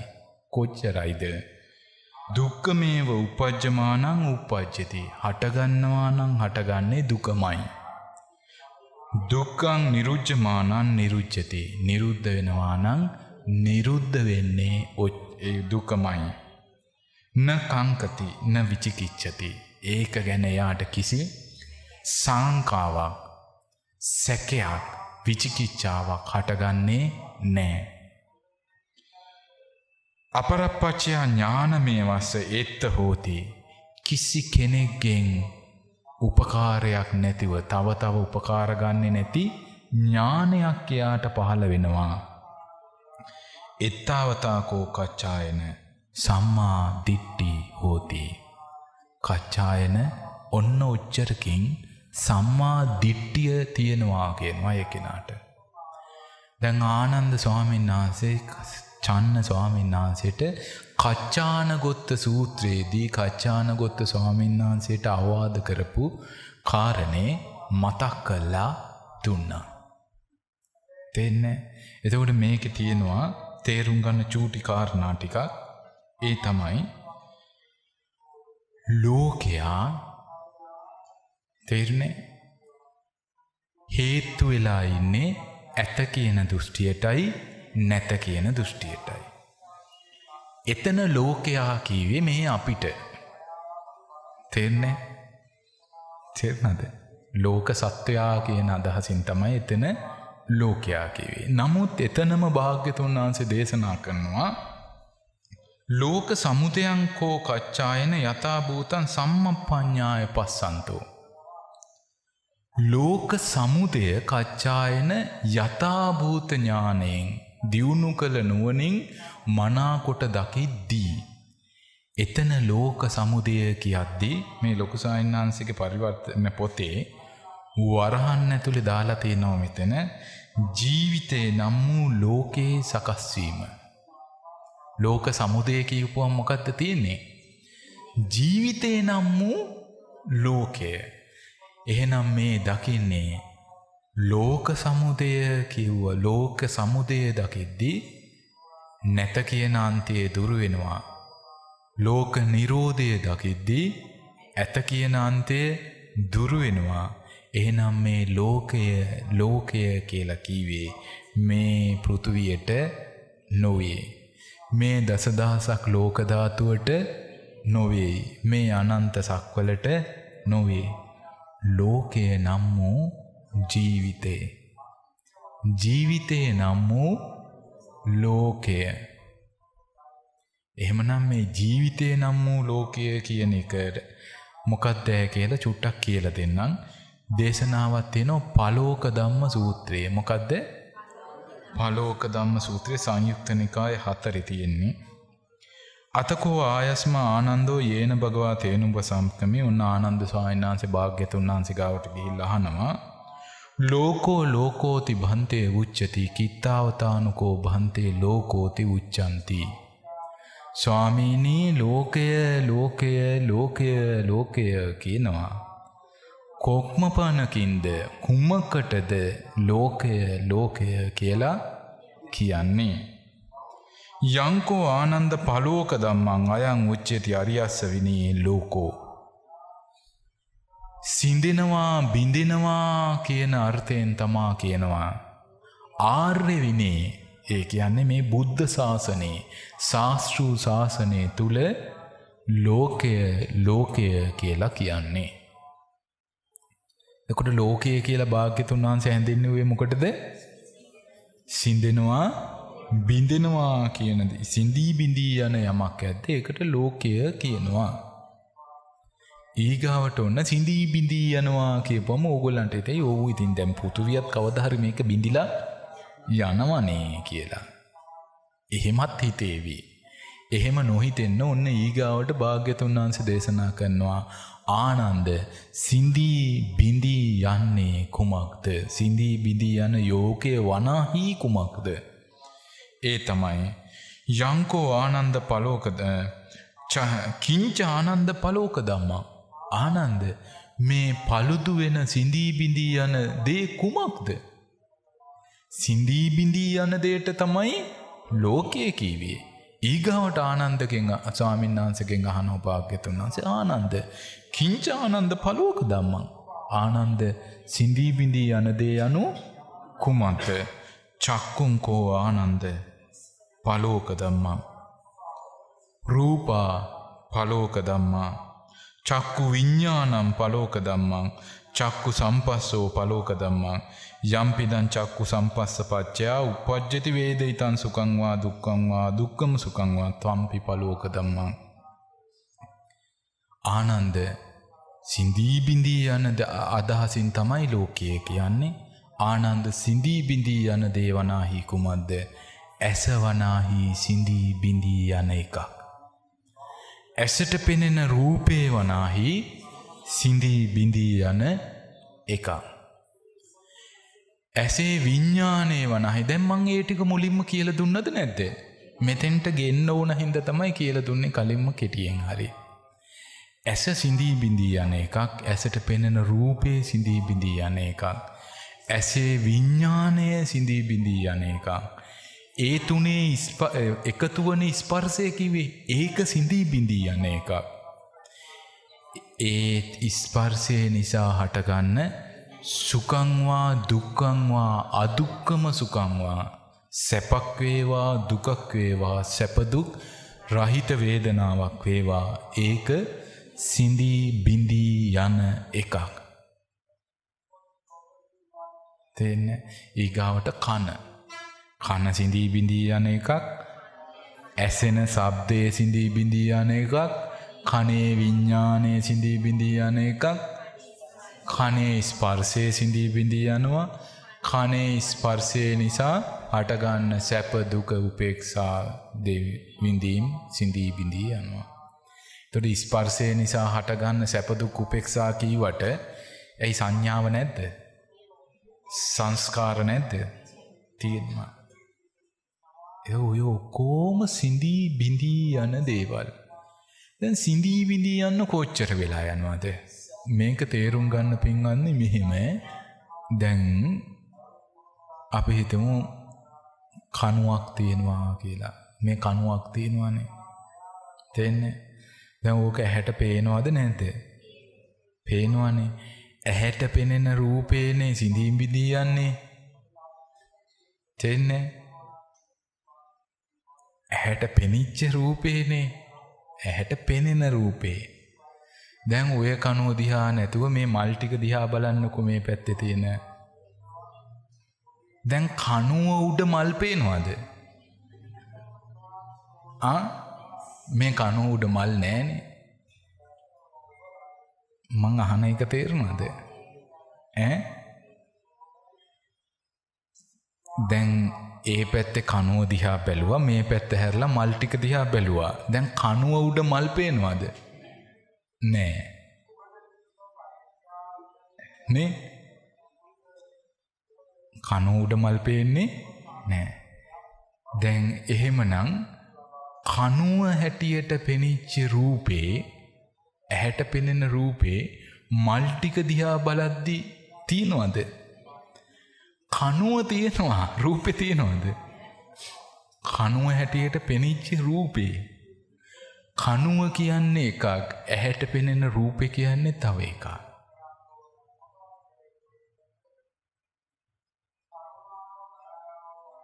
කනුව තමයි පෙනුනේ. කනුව කියන්නේ එකක් ඇහැට පෙනෙන රූපේ. දැන් මල් ටික බලපුවාම රූපේ තියෙනවා කිව්වොත් එහෙනම් කනුව උඩ මල් පේන්න ඕන. තේරුණේ? එහෙනම් කලින් පෙනිච්ච රූපෙ තියෙනවද? කනුව නැද්ද? කනුව තියෙනවා. දැන් ඇහැට පෙනෙන රූපේ සිින්දී බිඳී යනවාගේ පොම සමහරුන්ට ඕන මේක බෝම්බයක් ගහලා ඕ දූවිලි වෙලාර කුටු පට්ටන් වෙලා යන්ට ඕනා. එහෙම එකක් නෑ ඇහැට පෙනෙන කනුව ගැන නෙමේ කතා කරන්න. ඇහැට පෙනෙන රූපය ගැන. රූපේ සිඳී බිඳී ගිය නෑ කියනවා නම් පෙනිච්ච මේ තියෙනවා කියනවන එහෙනම් මල් ටික දකිද්දී ඒ කනුව උඩ මල් තියෙනවා පේන්ට ඕන. එහෙම එකක් නෑනෙ පින්වත්නේ. එහෙනම් ඇහැට පෙනිච්ච රූපයේ සිඳී බිඳී යන එකක්. තියෙන්න එතකොට ඇහැ හටගන්නේ නාමරූප නිසා. නාම කියන්නේ වේදනා සංඥා චේතනා පස්ස මනසිකාර. ඔය ටිකෙන් හටගත්තු ඇහැ වෙනස් වෙලා තමයි මල් ටික පේන්න පටන් ගන්නෙ. ඒකට හේතුව තමා කනුව දිහා බලද්දිද සැප වේදනාවක් හටගන්නේ මල් ටික දිහා බලද්දිද සැප වේදනාව හටගන්නේ. මල් ටික දිහා බලද්දි. එහෙනම් වේදනාවේ වෙනසක් නැද්ද? එහෙනම් කනුව දිහ කනුව බලන වෙලාවෙ තිබ්බ නාම ගොඩේ තියෙන වේදනාවද දැන් මල් ටික දිහා බලද්දි තියෙන්නේ නෑ එතන තියෙන්නේ වේදනා දෙකක් අර මං කලින් කිව්වේ තහඩු දෙකක් හැබැයි දෙකම තහඩු තමා අන්න ඒ විදිහට තේරුම් ගන්නට එහෙනම් කනුව බලද්දි සකස් වෙනවා ඇස එහි ඇස බිඳිලා ආය මල්ටික බලද්දි ආය නාම රූප නිසා මේක සකස් වෙනවා. එහෙම වැඩපිළිවෙලක් මේකේ තියෙනවා. ඇස සිඳී බිඳී යන එකක්. ඇසට පෙනෙන රූප සිඳී බිඳී යන එකක්. ඇසේ විඤ්ඥානය සිඳී බිඳී යන එකක්. දැන් කනුව දිහා බලද්දි දැනීමක් ඇති වුණා. මොකක්ද දැනගත්තේ කනුව පේනවා කියලනේ. දැන් ඒ විඤ්ඥානයේ සිින්දී බිඳී ගියේ නැත්තං මල්ටික බලද්දී. එහෙනම් මල්ටික බලද්දිත් කනුවම දැනෙන්ඩ ඕන. එහෙමද පේන්නේ. එහෙනම් කනුවෝදිහා බලද්දි හටගත්තු ඇසේ විඤ්ඥානය සිින්දී බිඳී ගිහිල්ලා තමයි මල්ටික පේනෙද්දි ආයෙත් ඇසේ විඤ්ඥානයක් හටගන්නවා. හරිද එහෙනම් ඇසේ විඤ්ඥානයත් සිින්දී බිඳී යනෝ ගොඩක් වෙලා යනවද. ඒ සෙනයෙන් සිද්ධ වෙනවා. එහෙනම් ඇසේ ඉස්පර්සය අර ටික සිනී බිදී යනවන ඉස්පර්සය ගැන කවර එහෙනම් ඒකෙන් හටගන්න වේදනා සංඥා සංකාර විඤ්ඥාන සිින්දී බිඳී යනවා. තේරුණෑ තේරුණේ ඕ එතකොට ලෝකය කියන්නේ සිින්දී බිඳී යන අර්ථයෙන්. ඒ සිින්දී බිඳී යන්නේ ඇස රූපය ඇසේ විඤ්ඥානය ඇසේ ස්පර්සය ඇසේ ස්පර්සයෙන් හටගන්න සැපදුක් වේදනා උපේක්ෂා සංඥා චේතන විඤ්ඥාන ඔක්කොම සිින්දී බිඳී යනවා එහෙනම් කනත් එහෙමයි දැම් මේ බලන්න ඒ හේ මයි ස්වර කීහත්ද. ඒ හැම්ම මොහොතකම සිින්දී බිඳී යනවා. තේන්න මං අපේ ගුරුදේවුත්තමයන් වහන්සේගෙන් දවසක් ගිහි ලැව මේක තේරෙන්නේ ෑන කිව්වා. එතකොට හිතන්ඩ කිව්වා නමෝතස්ස භගෝතෝ රහතෝ කියලා මේ ලියල තියෙනවා කියලා. දැ මුලින්ම තියෙන්නේ මොකක්ද නයන්නනේ. ඊගාවට තියන්නේ මොකක්ද මොයන්න නෙමේ ඊගාවට තියෙන කෝම්බුව. හරි. මොයන්න හැදෙන්නේ ඊට පස්සේ. මං ඇහුවි තියෙන්නේ මොකක්ද කියලා. දැන් නයන්න බලප බලලා කොම්බුව පෙනෙද්දී මොකද වෙන්නේ? නයන්නක් නෑනේ දැම් තේරුම් ගන්න මොකක්ද දැන් විශේෂෙන් දැනගන්න මොකක්ද කොම්බුව. දැන් අයන්න විශේෂෙන් දැනගන්නේ නෑ. දැම් පේන රූපෙමොකක්ද කොම්බුව. දැන් අයන්න නෑ. ඒ චුට්ටට මේ සිින්දී බිඳී වෙනස් වෙලා යනවා චලංචේව වයංච සැල්ලි සැලී වෙනස් වෙනවා දෙන්න වැඩිදුර කියන්න ඌමනා වුණේ නෑ මං හරි හරි ස්වාමීනී තේරුණා කියල වන්දල නැගිටලාව.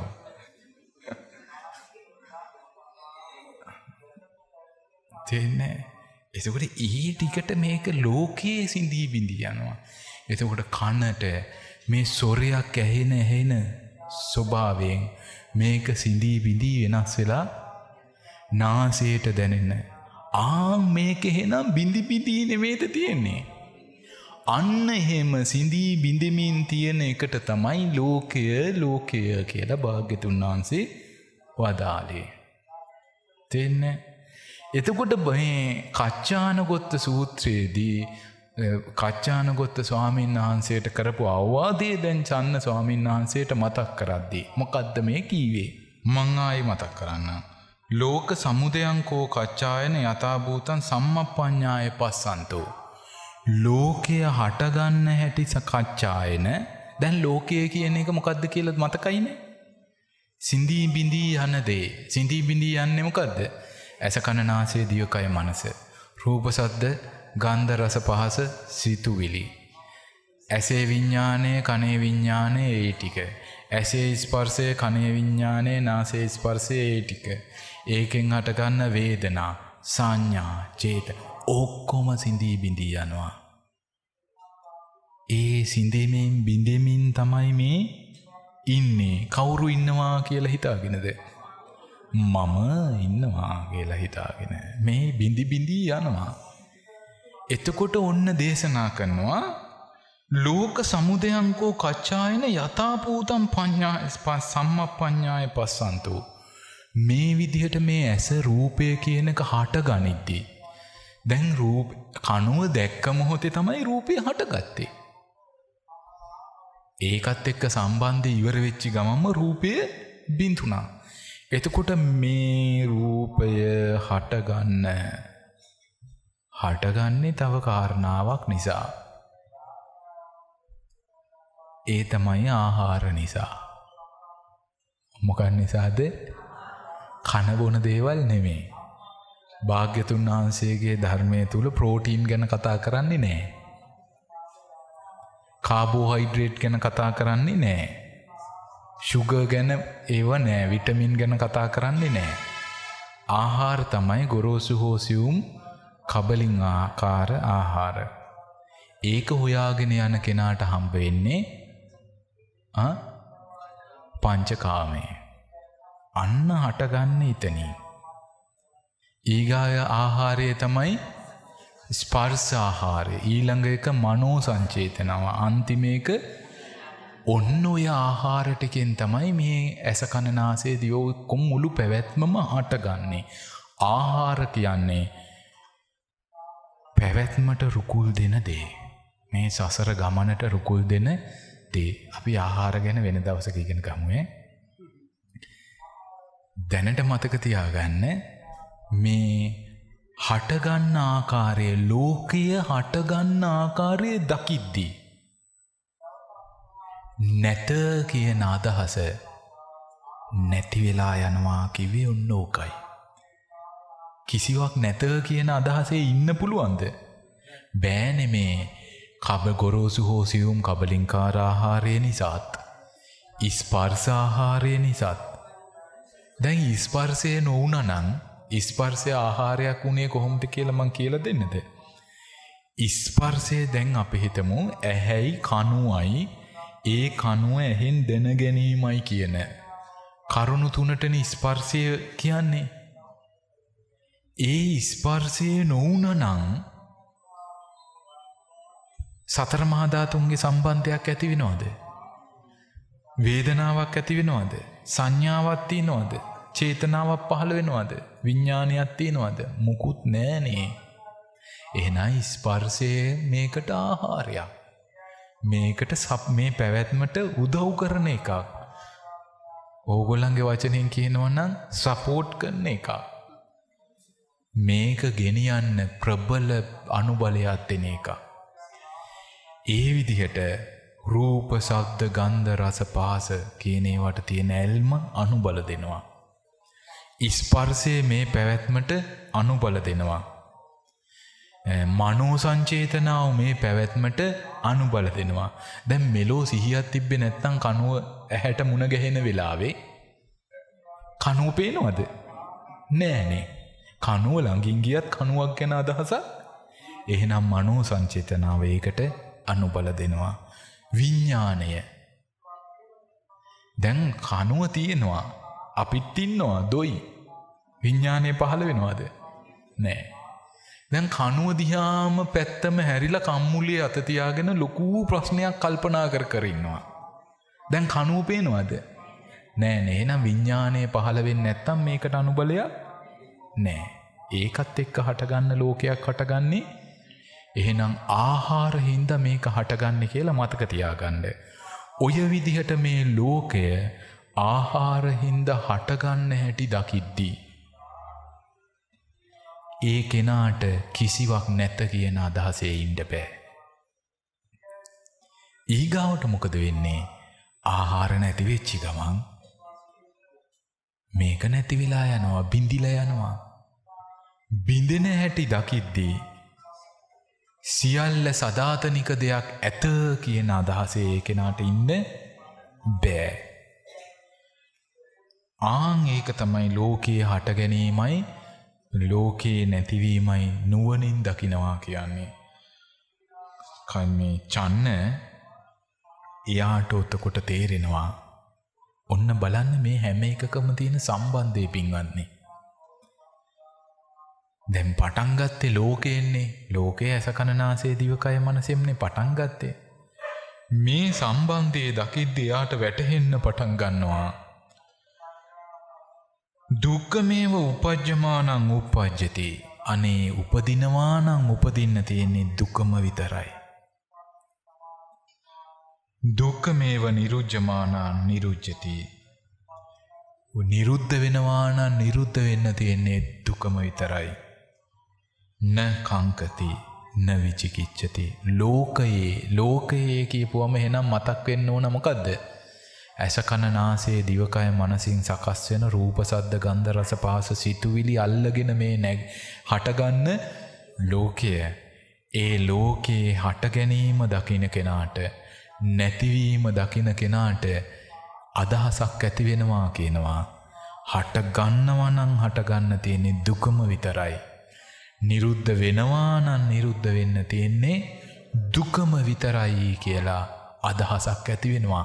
ඒ අදහස ගැන න කංකති න විචිකිච්ඡති. ඒ අදහස ගැන කිසි සැකයක් නෑ. කිසි විචිකිච්ඡාවක් ඒ කෙනාට නෑ. තේරුණේ? ආන් එහෙම කෙනාට භාග්‍යත මේ ආනන්ද ස්වාමීන් වහන්සේ දේශනා කරනවා එදා භාග්‍යතුන් වහන්සේ වදාලා එත්තාවතා කෝ කච්චායන සම්මා දිට්ටි හෝති ඔය ටික දැකගත්තොත් එපමණකින් එයාට සම්මා දිට්ටිය තියෙනවා. ඒ කියන්නේ එයා කොහොම කෙනෙක්ද? ඒ කෙනා සෝතාපන්න කෙනෙක් අනුන්ගේ උදව්වක් නැතුව එයා එයාගේ ගමන යන කෙනෙක්. හැබැයි එයා දකින්නේ ලෝකයේ හට ගැනීමයි. ලෝකයේ නැතිවීමයි දකින කෙනාට තමයි. උපදිනවා නම් උපදින්න තියෙන්නේ දුකක්මයි. නැතිවෙනවා නම් නැතිවෙන්න තියෙන්නේ දුකක්මයි කියලා. ඒ මොකක්ද කිවේ. දැන් ඕගොල්ලන්ට කනුව හට ගනිද්දි ඇඩෙනවද. ඇ එහෙනම් උපදිනවාන උපදින්න තියෙන දුකක්මයි. දැන් ඕගොල්ලන්ට මල් පෝච්චි ටික දක් මල් පෝ මල් ටික දකිද්දි ඇඩෙනවද. නැහැ එහෙනම් උපදිනවා නම් උපදින්න තියෙන්නේ දුකක්මයි. මොකද්ද මේ දුක? සංකිට්තේන පංච උපාදානස්කන්ධා දුක්ඛ. ආන් ඒක තමයි දුක කිව්වේ. එතකොට කෙටියෙන් කියනවා නම් උපදිනවා නම් උපදින්න තියෙන්නේ පංච උපාදානස්කන්ධයක්මයි. අර දුකක්මයි කියන එකට මං වචනේ දැම්මා. පංච උපාදානස්කන්ධයක්මයි. නැති වෙනවා නම් නැති වෙන්න තියෙන්නේ පංච උපාදානස්කන්ධයක්මයි. දැන් අපි ආයෙ බලමු. අපි කිව්වනේ මේ කනුව පේනවා කියලා. තෙන්නේ. දැන් ඔන්න ඇහැයි රූපයයි. ඇහැ මොනවයින්ද හැදිලා තියෙන්නේ? සතර මහා ධාතුත් නාමත් නිසා නාම රූප නිසා එතකොට එතන රූප නැද්ද? රූප කියන්නේ සතර මහා ධාතු සතර මහා ධාතුන්ගේ හටගත්තු දේවල් නැද්ද? කනුව කියන්නේ මොනවයින් හැදිච්ච එකක්ද? සතර මහා ධාතු. ඒක තනි කරම සතර මහා ධාතු. එතකොට එහෙමනම් මෙතන රූප රූපයේ සම්බන්ධයක් නැද්ද? තියෙනවා. එහෙමනම් කනුව පේනවා කියන තැන ඇසයි රූපයයි විඥානයයි නිසා ඒ කියන්නේ ස්පර්ශය නිසා. විඤ්ඥානය කියද්දිම විඤ්ඥානය නැද්ද ස්පර්ශය කියද්දිම තිය. ඇසට රූපය පේනවා කියද්දිම ස්පර්ශය තියෙනවා නං. එතන වේද මේ වේදනාව නැද්ද. ස්පර්ශය කියන කාරණය සිදු වෙච්චි ගමන් අතරක් නොමැතිව වේදනා සංඥා චේතනාතයනවා. දැම් මෙතන තියෙන්නේ මොනාද. රූප වේදනා සංඥා චේතනා විඤ්ඥානය. එහනම් රූපයක් පේනවා කියන තැන කනුව පේනවා කියන තැන ඉපදුනේ මොනාද පංච උපාදානස්කන්තය. මල්ටික පේනවා කියන තැන ඉපදුනේ මොකක්ද පංච උපාදානස්කන්දය. එතකොට ඔච්චර නෙවෙයිද ලෝකේ. ඉතින් අර තේර බුක්ෂූන් වහන්සේලා බොරුවද්ද කීවෙ චන්න ස්වායින්නාසට. කරන්න තියෙන දකින්න තියෙන උපරිම්ම තැන මතක් කළා. එතකොට ඔන්න ආනන්ද ස්වාමීන් වහන්ස දේශනා කරනවා ලෝකයේ සමුදයයි ලෝකයේ නිරෝධයයි දකින කෙනා ද එයාට සැකයක් නෑ කියනවා. උපදිනවා නම් උපදින්නේ දුකමයි නිරුද්ධ වෙනවානම් නිරුද්ධ වෙන්න තියෙන්නේෙත් දුකමයි කියල යාට සැකයක් නෑ ඇයි එයාට මේක පේන නිසා. එත්තකෝ කච්චායන සම්මාදිට්ටි හෝති. කච්චායන එපමණකින් ඒ කෙනාට සම්මාදිට්ටිය තියෙනවා. ඊගාවට දේශනා කරනවා පින්වත් කච්චායන දැම්ම ආනන්ද ස්වාමීන් වහන්සේ අර එදා දේශනාව මතක් කරන්නේ. පින්වත් කච්චායන සියල්ල ඇති ඇත කියන්නේ සබ්බ මත්ති ඒ කියන්නේ සබ්බ අත්ති කියන එක සන්ධි වෙලා සබ්බම් සබ්බ මත්ති ඒ කියන්නේ සියල්ල ඇත. කෝ කච්චායන අයමේකෝ අන්තෝ. ආනන්ද මේ කච්චායන සියල්ල ඇත කියන්නේ එක්තරා අන්තයක්. එක අන්තයක්. සබ්බන් නත්තීති කෝ අයන් දුතියෝ අන්තෝ. කිසිවක් නෑ කියන්නේ ඒක දෙවන අන්තය. ඒක තමයි දෙවන අන්තය.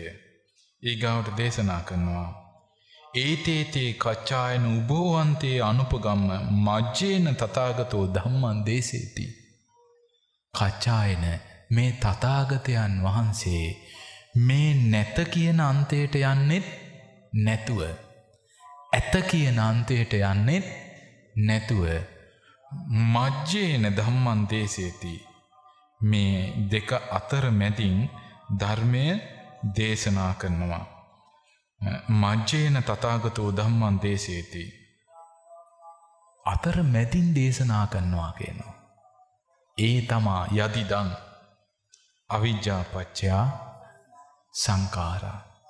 සංකාරපච්චයා විඤ්ඥාන විඤ්ඥානපච්චයා නාමරූප නාමරූපපච්චයා සලායතන සලායතන පච්චයා පස්සු පස්ස පච්චයා වේදනා වේදනාපච්චයා සංඥා සංඥාපච්චයා උපාදාන උපාදානපච්චයා භවෝ භවපච්චයා ජාති.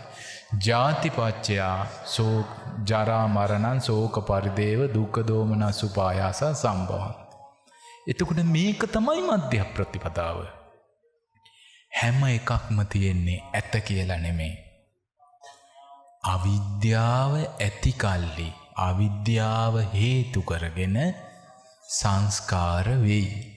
සංස්කාර ඇත. අවිද්‍යාව ඇත කීවද. අවිද්‍යාවත් හේතුවක් දේශනා කරන්න ඕනි භාග්‍යතුන් වහන්සේ පංචනීවන්න. හැම්ම එකක්ම මෙය ඇතිකල්ලි මෙය වේ හේතුවක් නිසා පලයක් තියෙනවා. මෙය නැතිකල්ලි මෙය නෙවේ. අවිද්‍යා යත්වේ වසේස විරාග නිරෝධූ සංකාර නිරෝධ.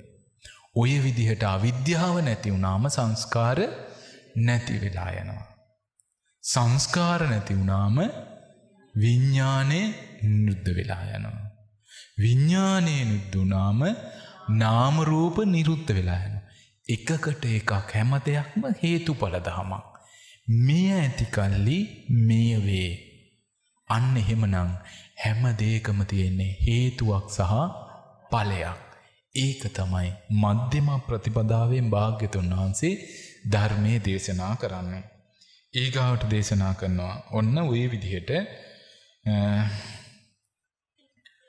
ඇතිවෙන හැටිත් නැතිවෙන හැටිත් ගැන ආනන්ද ස්වාමීන් වහන්සේ එදා කච්චායන ගොත්ත ස්වාමීන් වහන්සේට වදාළ දේශනාව චන්න ස්වාමීන් වහන්සේට මතක් කළා. ඒ වෙලාවේ චන්න ස්වාමීන් වහන්සේ බොහෝම උලාර ප්‍රීති ප්‍රාමෝජ්ජයෙන් යුතුව මහා හිතේ හටගත්තු සතුටින් යුතුව ලෝකයේ සමුදය දකින කෙනාගේ ජීවිතය ගැන ලෝකයේ නිරුද්ධ නිරෝධය දකින කෙනාට හැඟීම ගැන ඒක දකින කෙනා සැකයක් නැතුව උපදිනවා නම් උපදින්නේ දුකක් බව නැති නිරුද්ධ වෙනවා නම් නිරුද්ධ වෙන්නේ දුකක් බව. ඒ අන්ත දෙකට යන්නේ නැතුව ඇත නැත අන්ත දෙකට යන්නේ නැතුව මධ්‍යම ප්‍රතිපදාව ආනන්ද ස්වාමීන් වහන්සේ දේශනා කරද්දී හොඳට ප්‍රීතිමත් සිතින් යුතුව අහගෙන හිටියා. අහගෙන ඉඳලා අන්තිමේට කියනවා ප්‍රිය ආයුෂ්මත් ආනන්දේනි. පින්වත් ආනන්දයන් වහන්සේ ආනන්දයන් වහන්සේ වැනි යම් කෙනෙකුට අනුකම්පාව දක්වන යම් කෙනෙකුගේ යහපත කැමතිව අවවාද කරන අනුසංසනා කරන සක්බ්‍රහ්මචාරීන් වහන්සේලා ඉන්නවා නම් ඔය විදිහමයි කියලයි මමත් අහලා තියෙන්නේ. ආනන්දයන් වහන්සේ වගේ යම් කෙනෙකුට අනුකම්පාව දක්වන යහපත කැමති අනුශාසනා කරන සබ්‍රහ්මචාරීන් වහන්සේලා මුණ ගැහෙනවා නම් ඔය විදිහමයි කියලයි මමත් දන්නේ අහලා තියෙන්නේ පින්වත් ආයුස්මත් ආනන්දයන් වහන්සේ ඔබ වහන්සේගේ ධර්මය අහලා ධම්මං සුත්තා ධම්මෝ අபிසමාමේති. මම ධර්මයේ දැකගත්තා. මන් ධර්මය අවබෝධ කළා. ඒ කියන්නේ උන්වහන්සේ චන්න ස්වාමීන් වහන්සේ එක්කෝ සෝතාපන්න වුණා. එහෙම නැත්නම් අරහත්ත්වයේ සාක්ෂාත් කළා.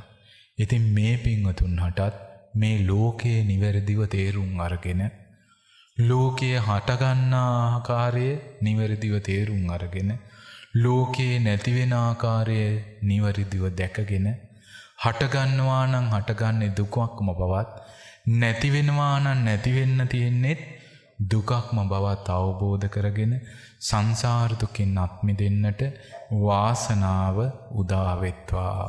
සා සාදු සාදු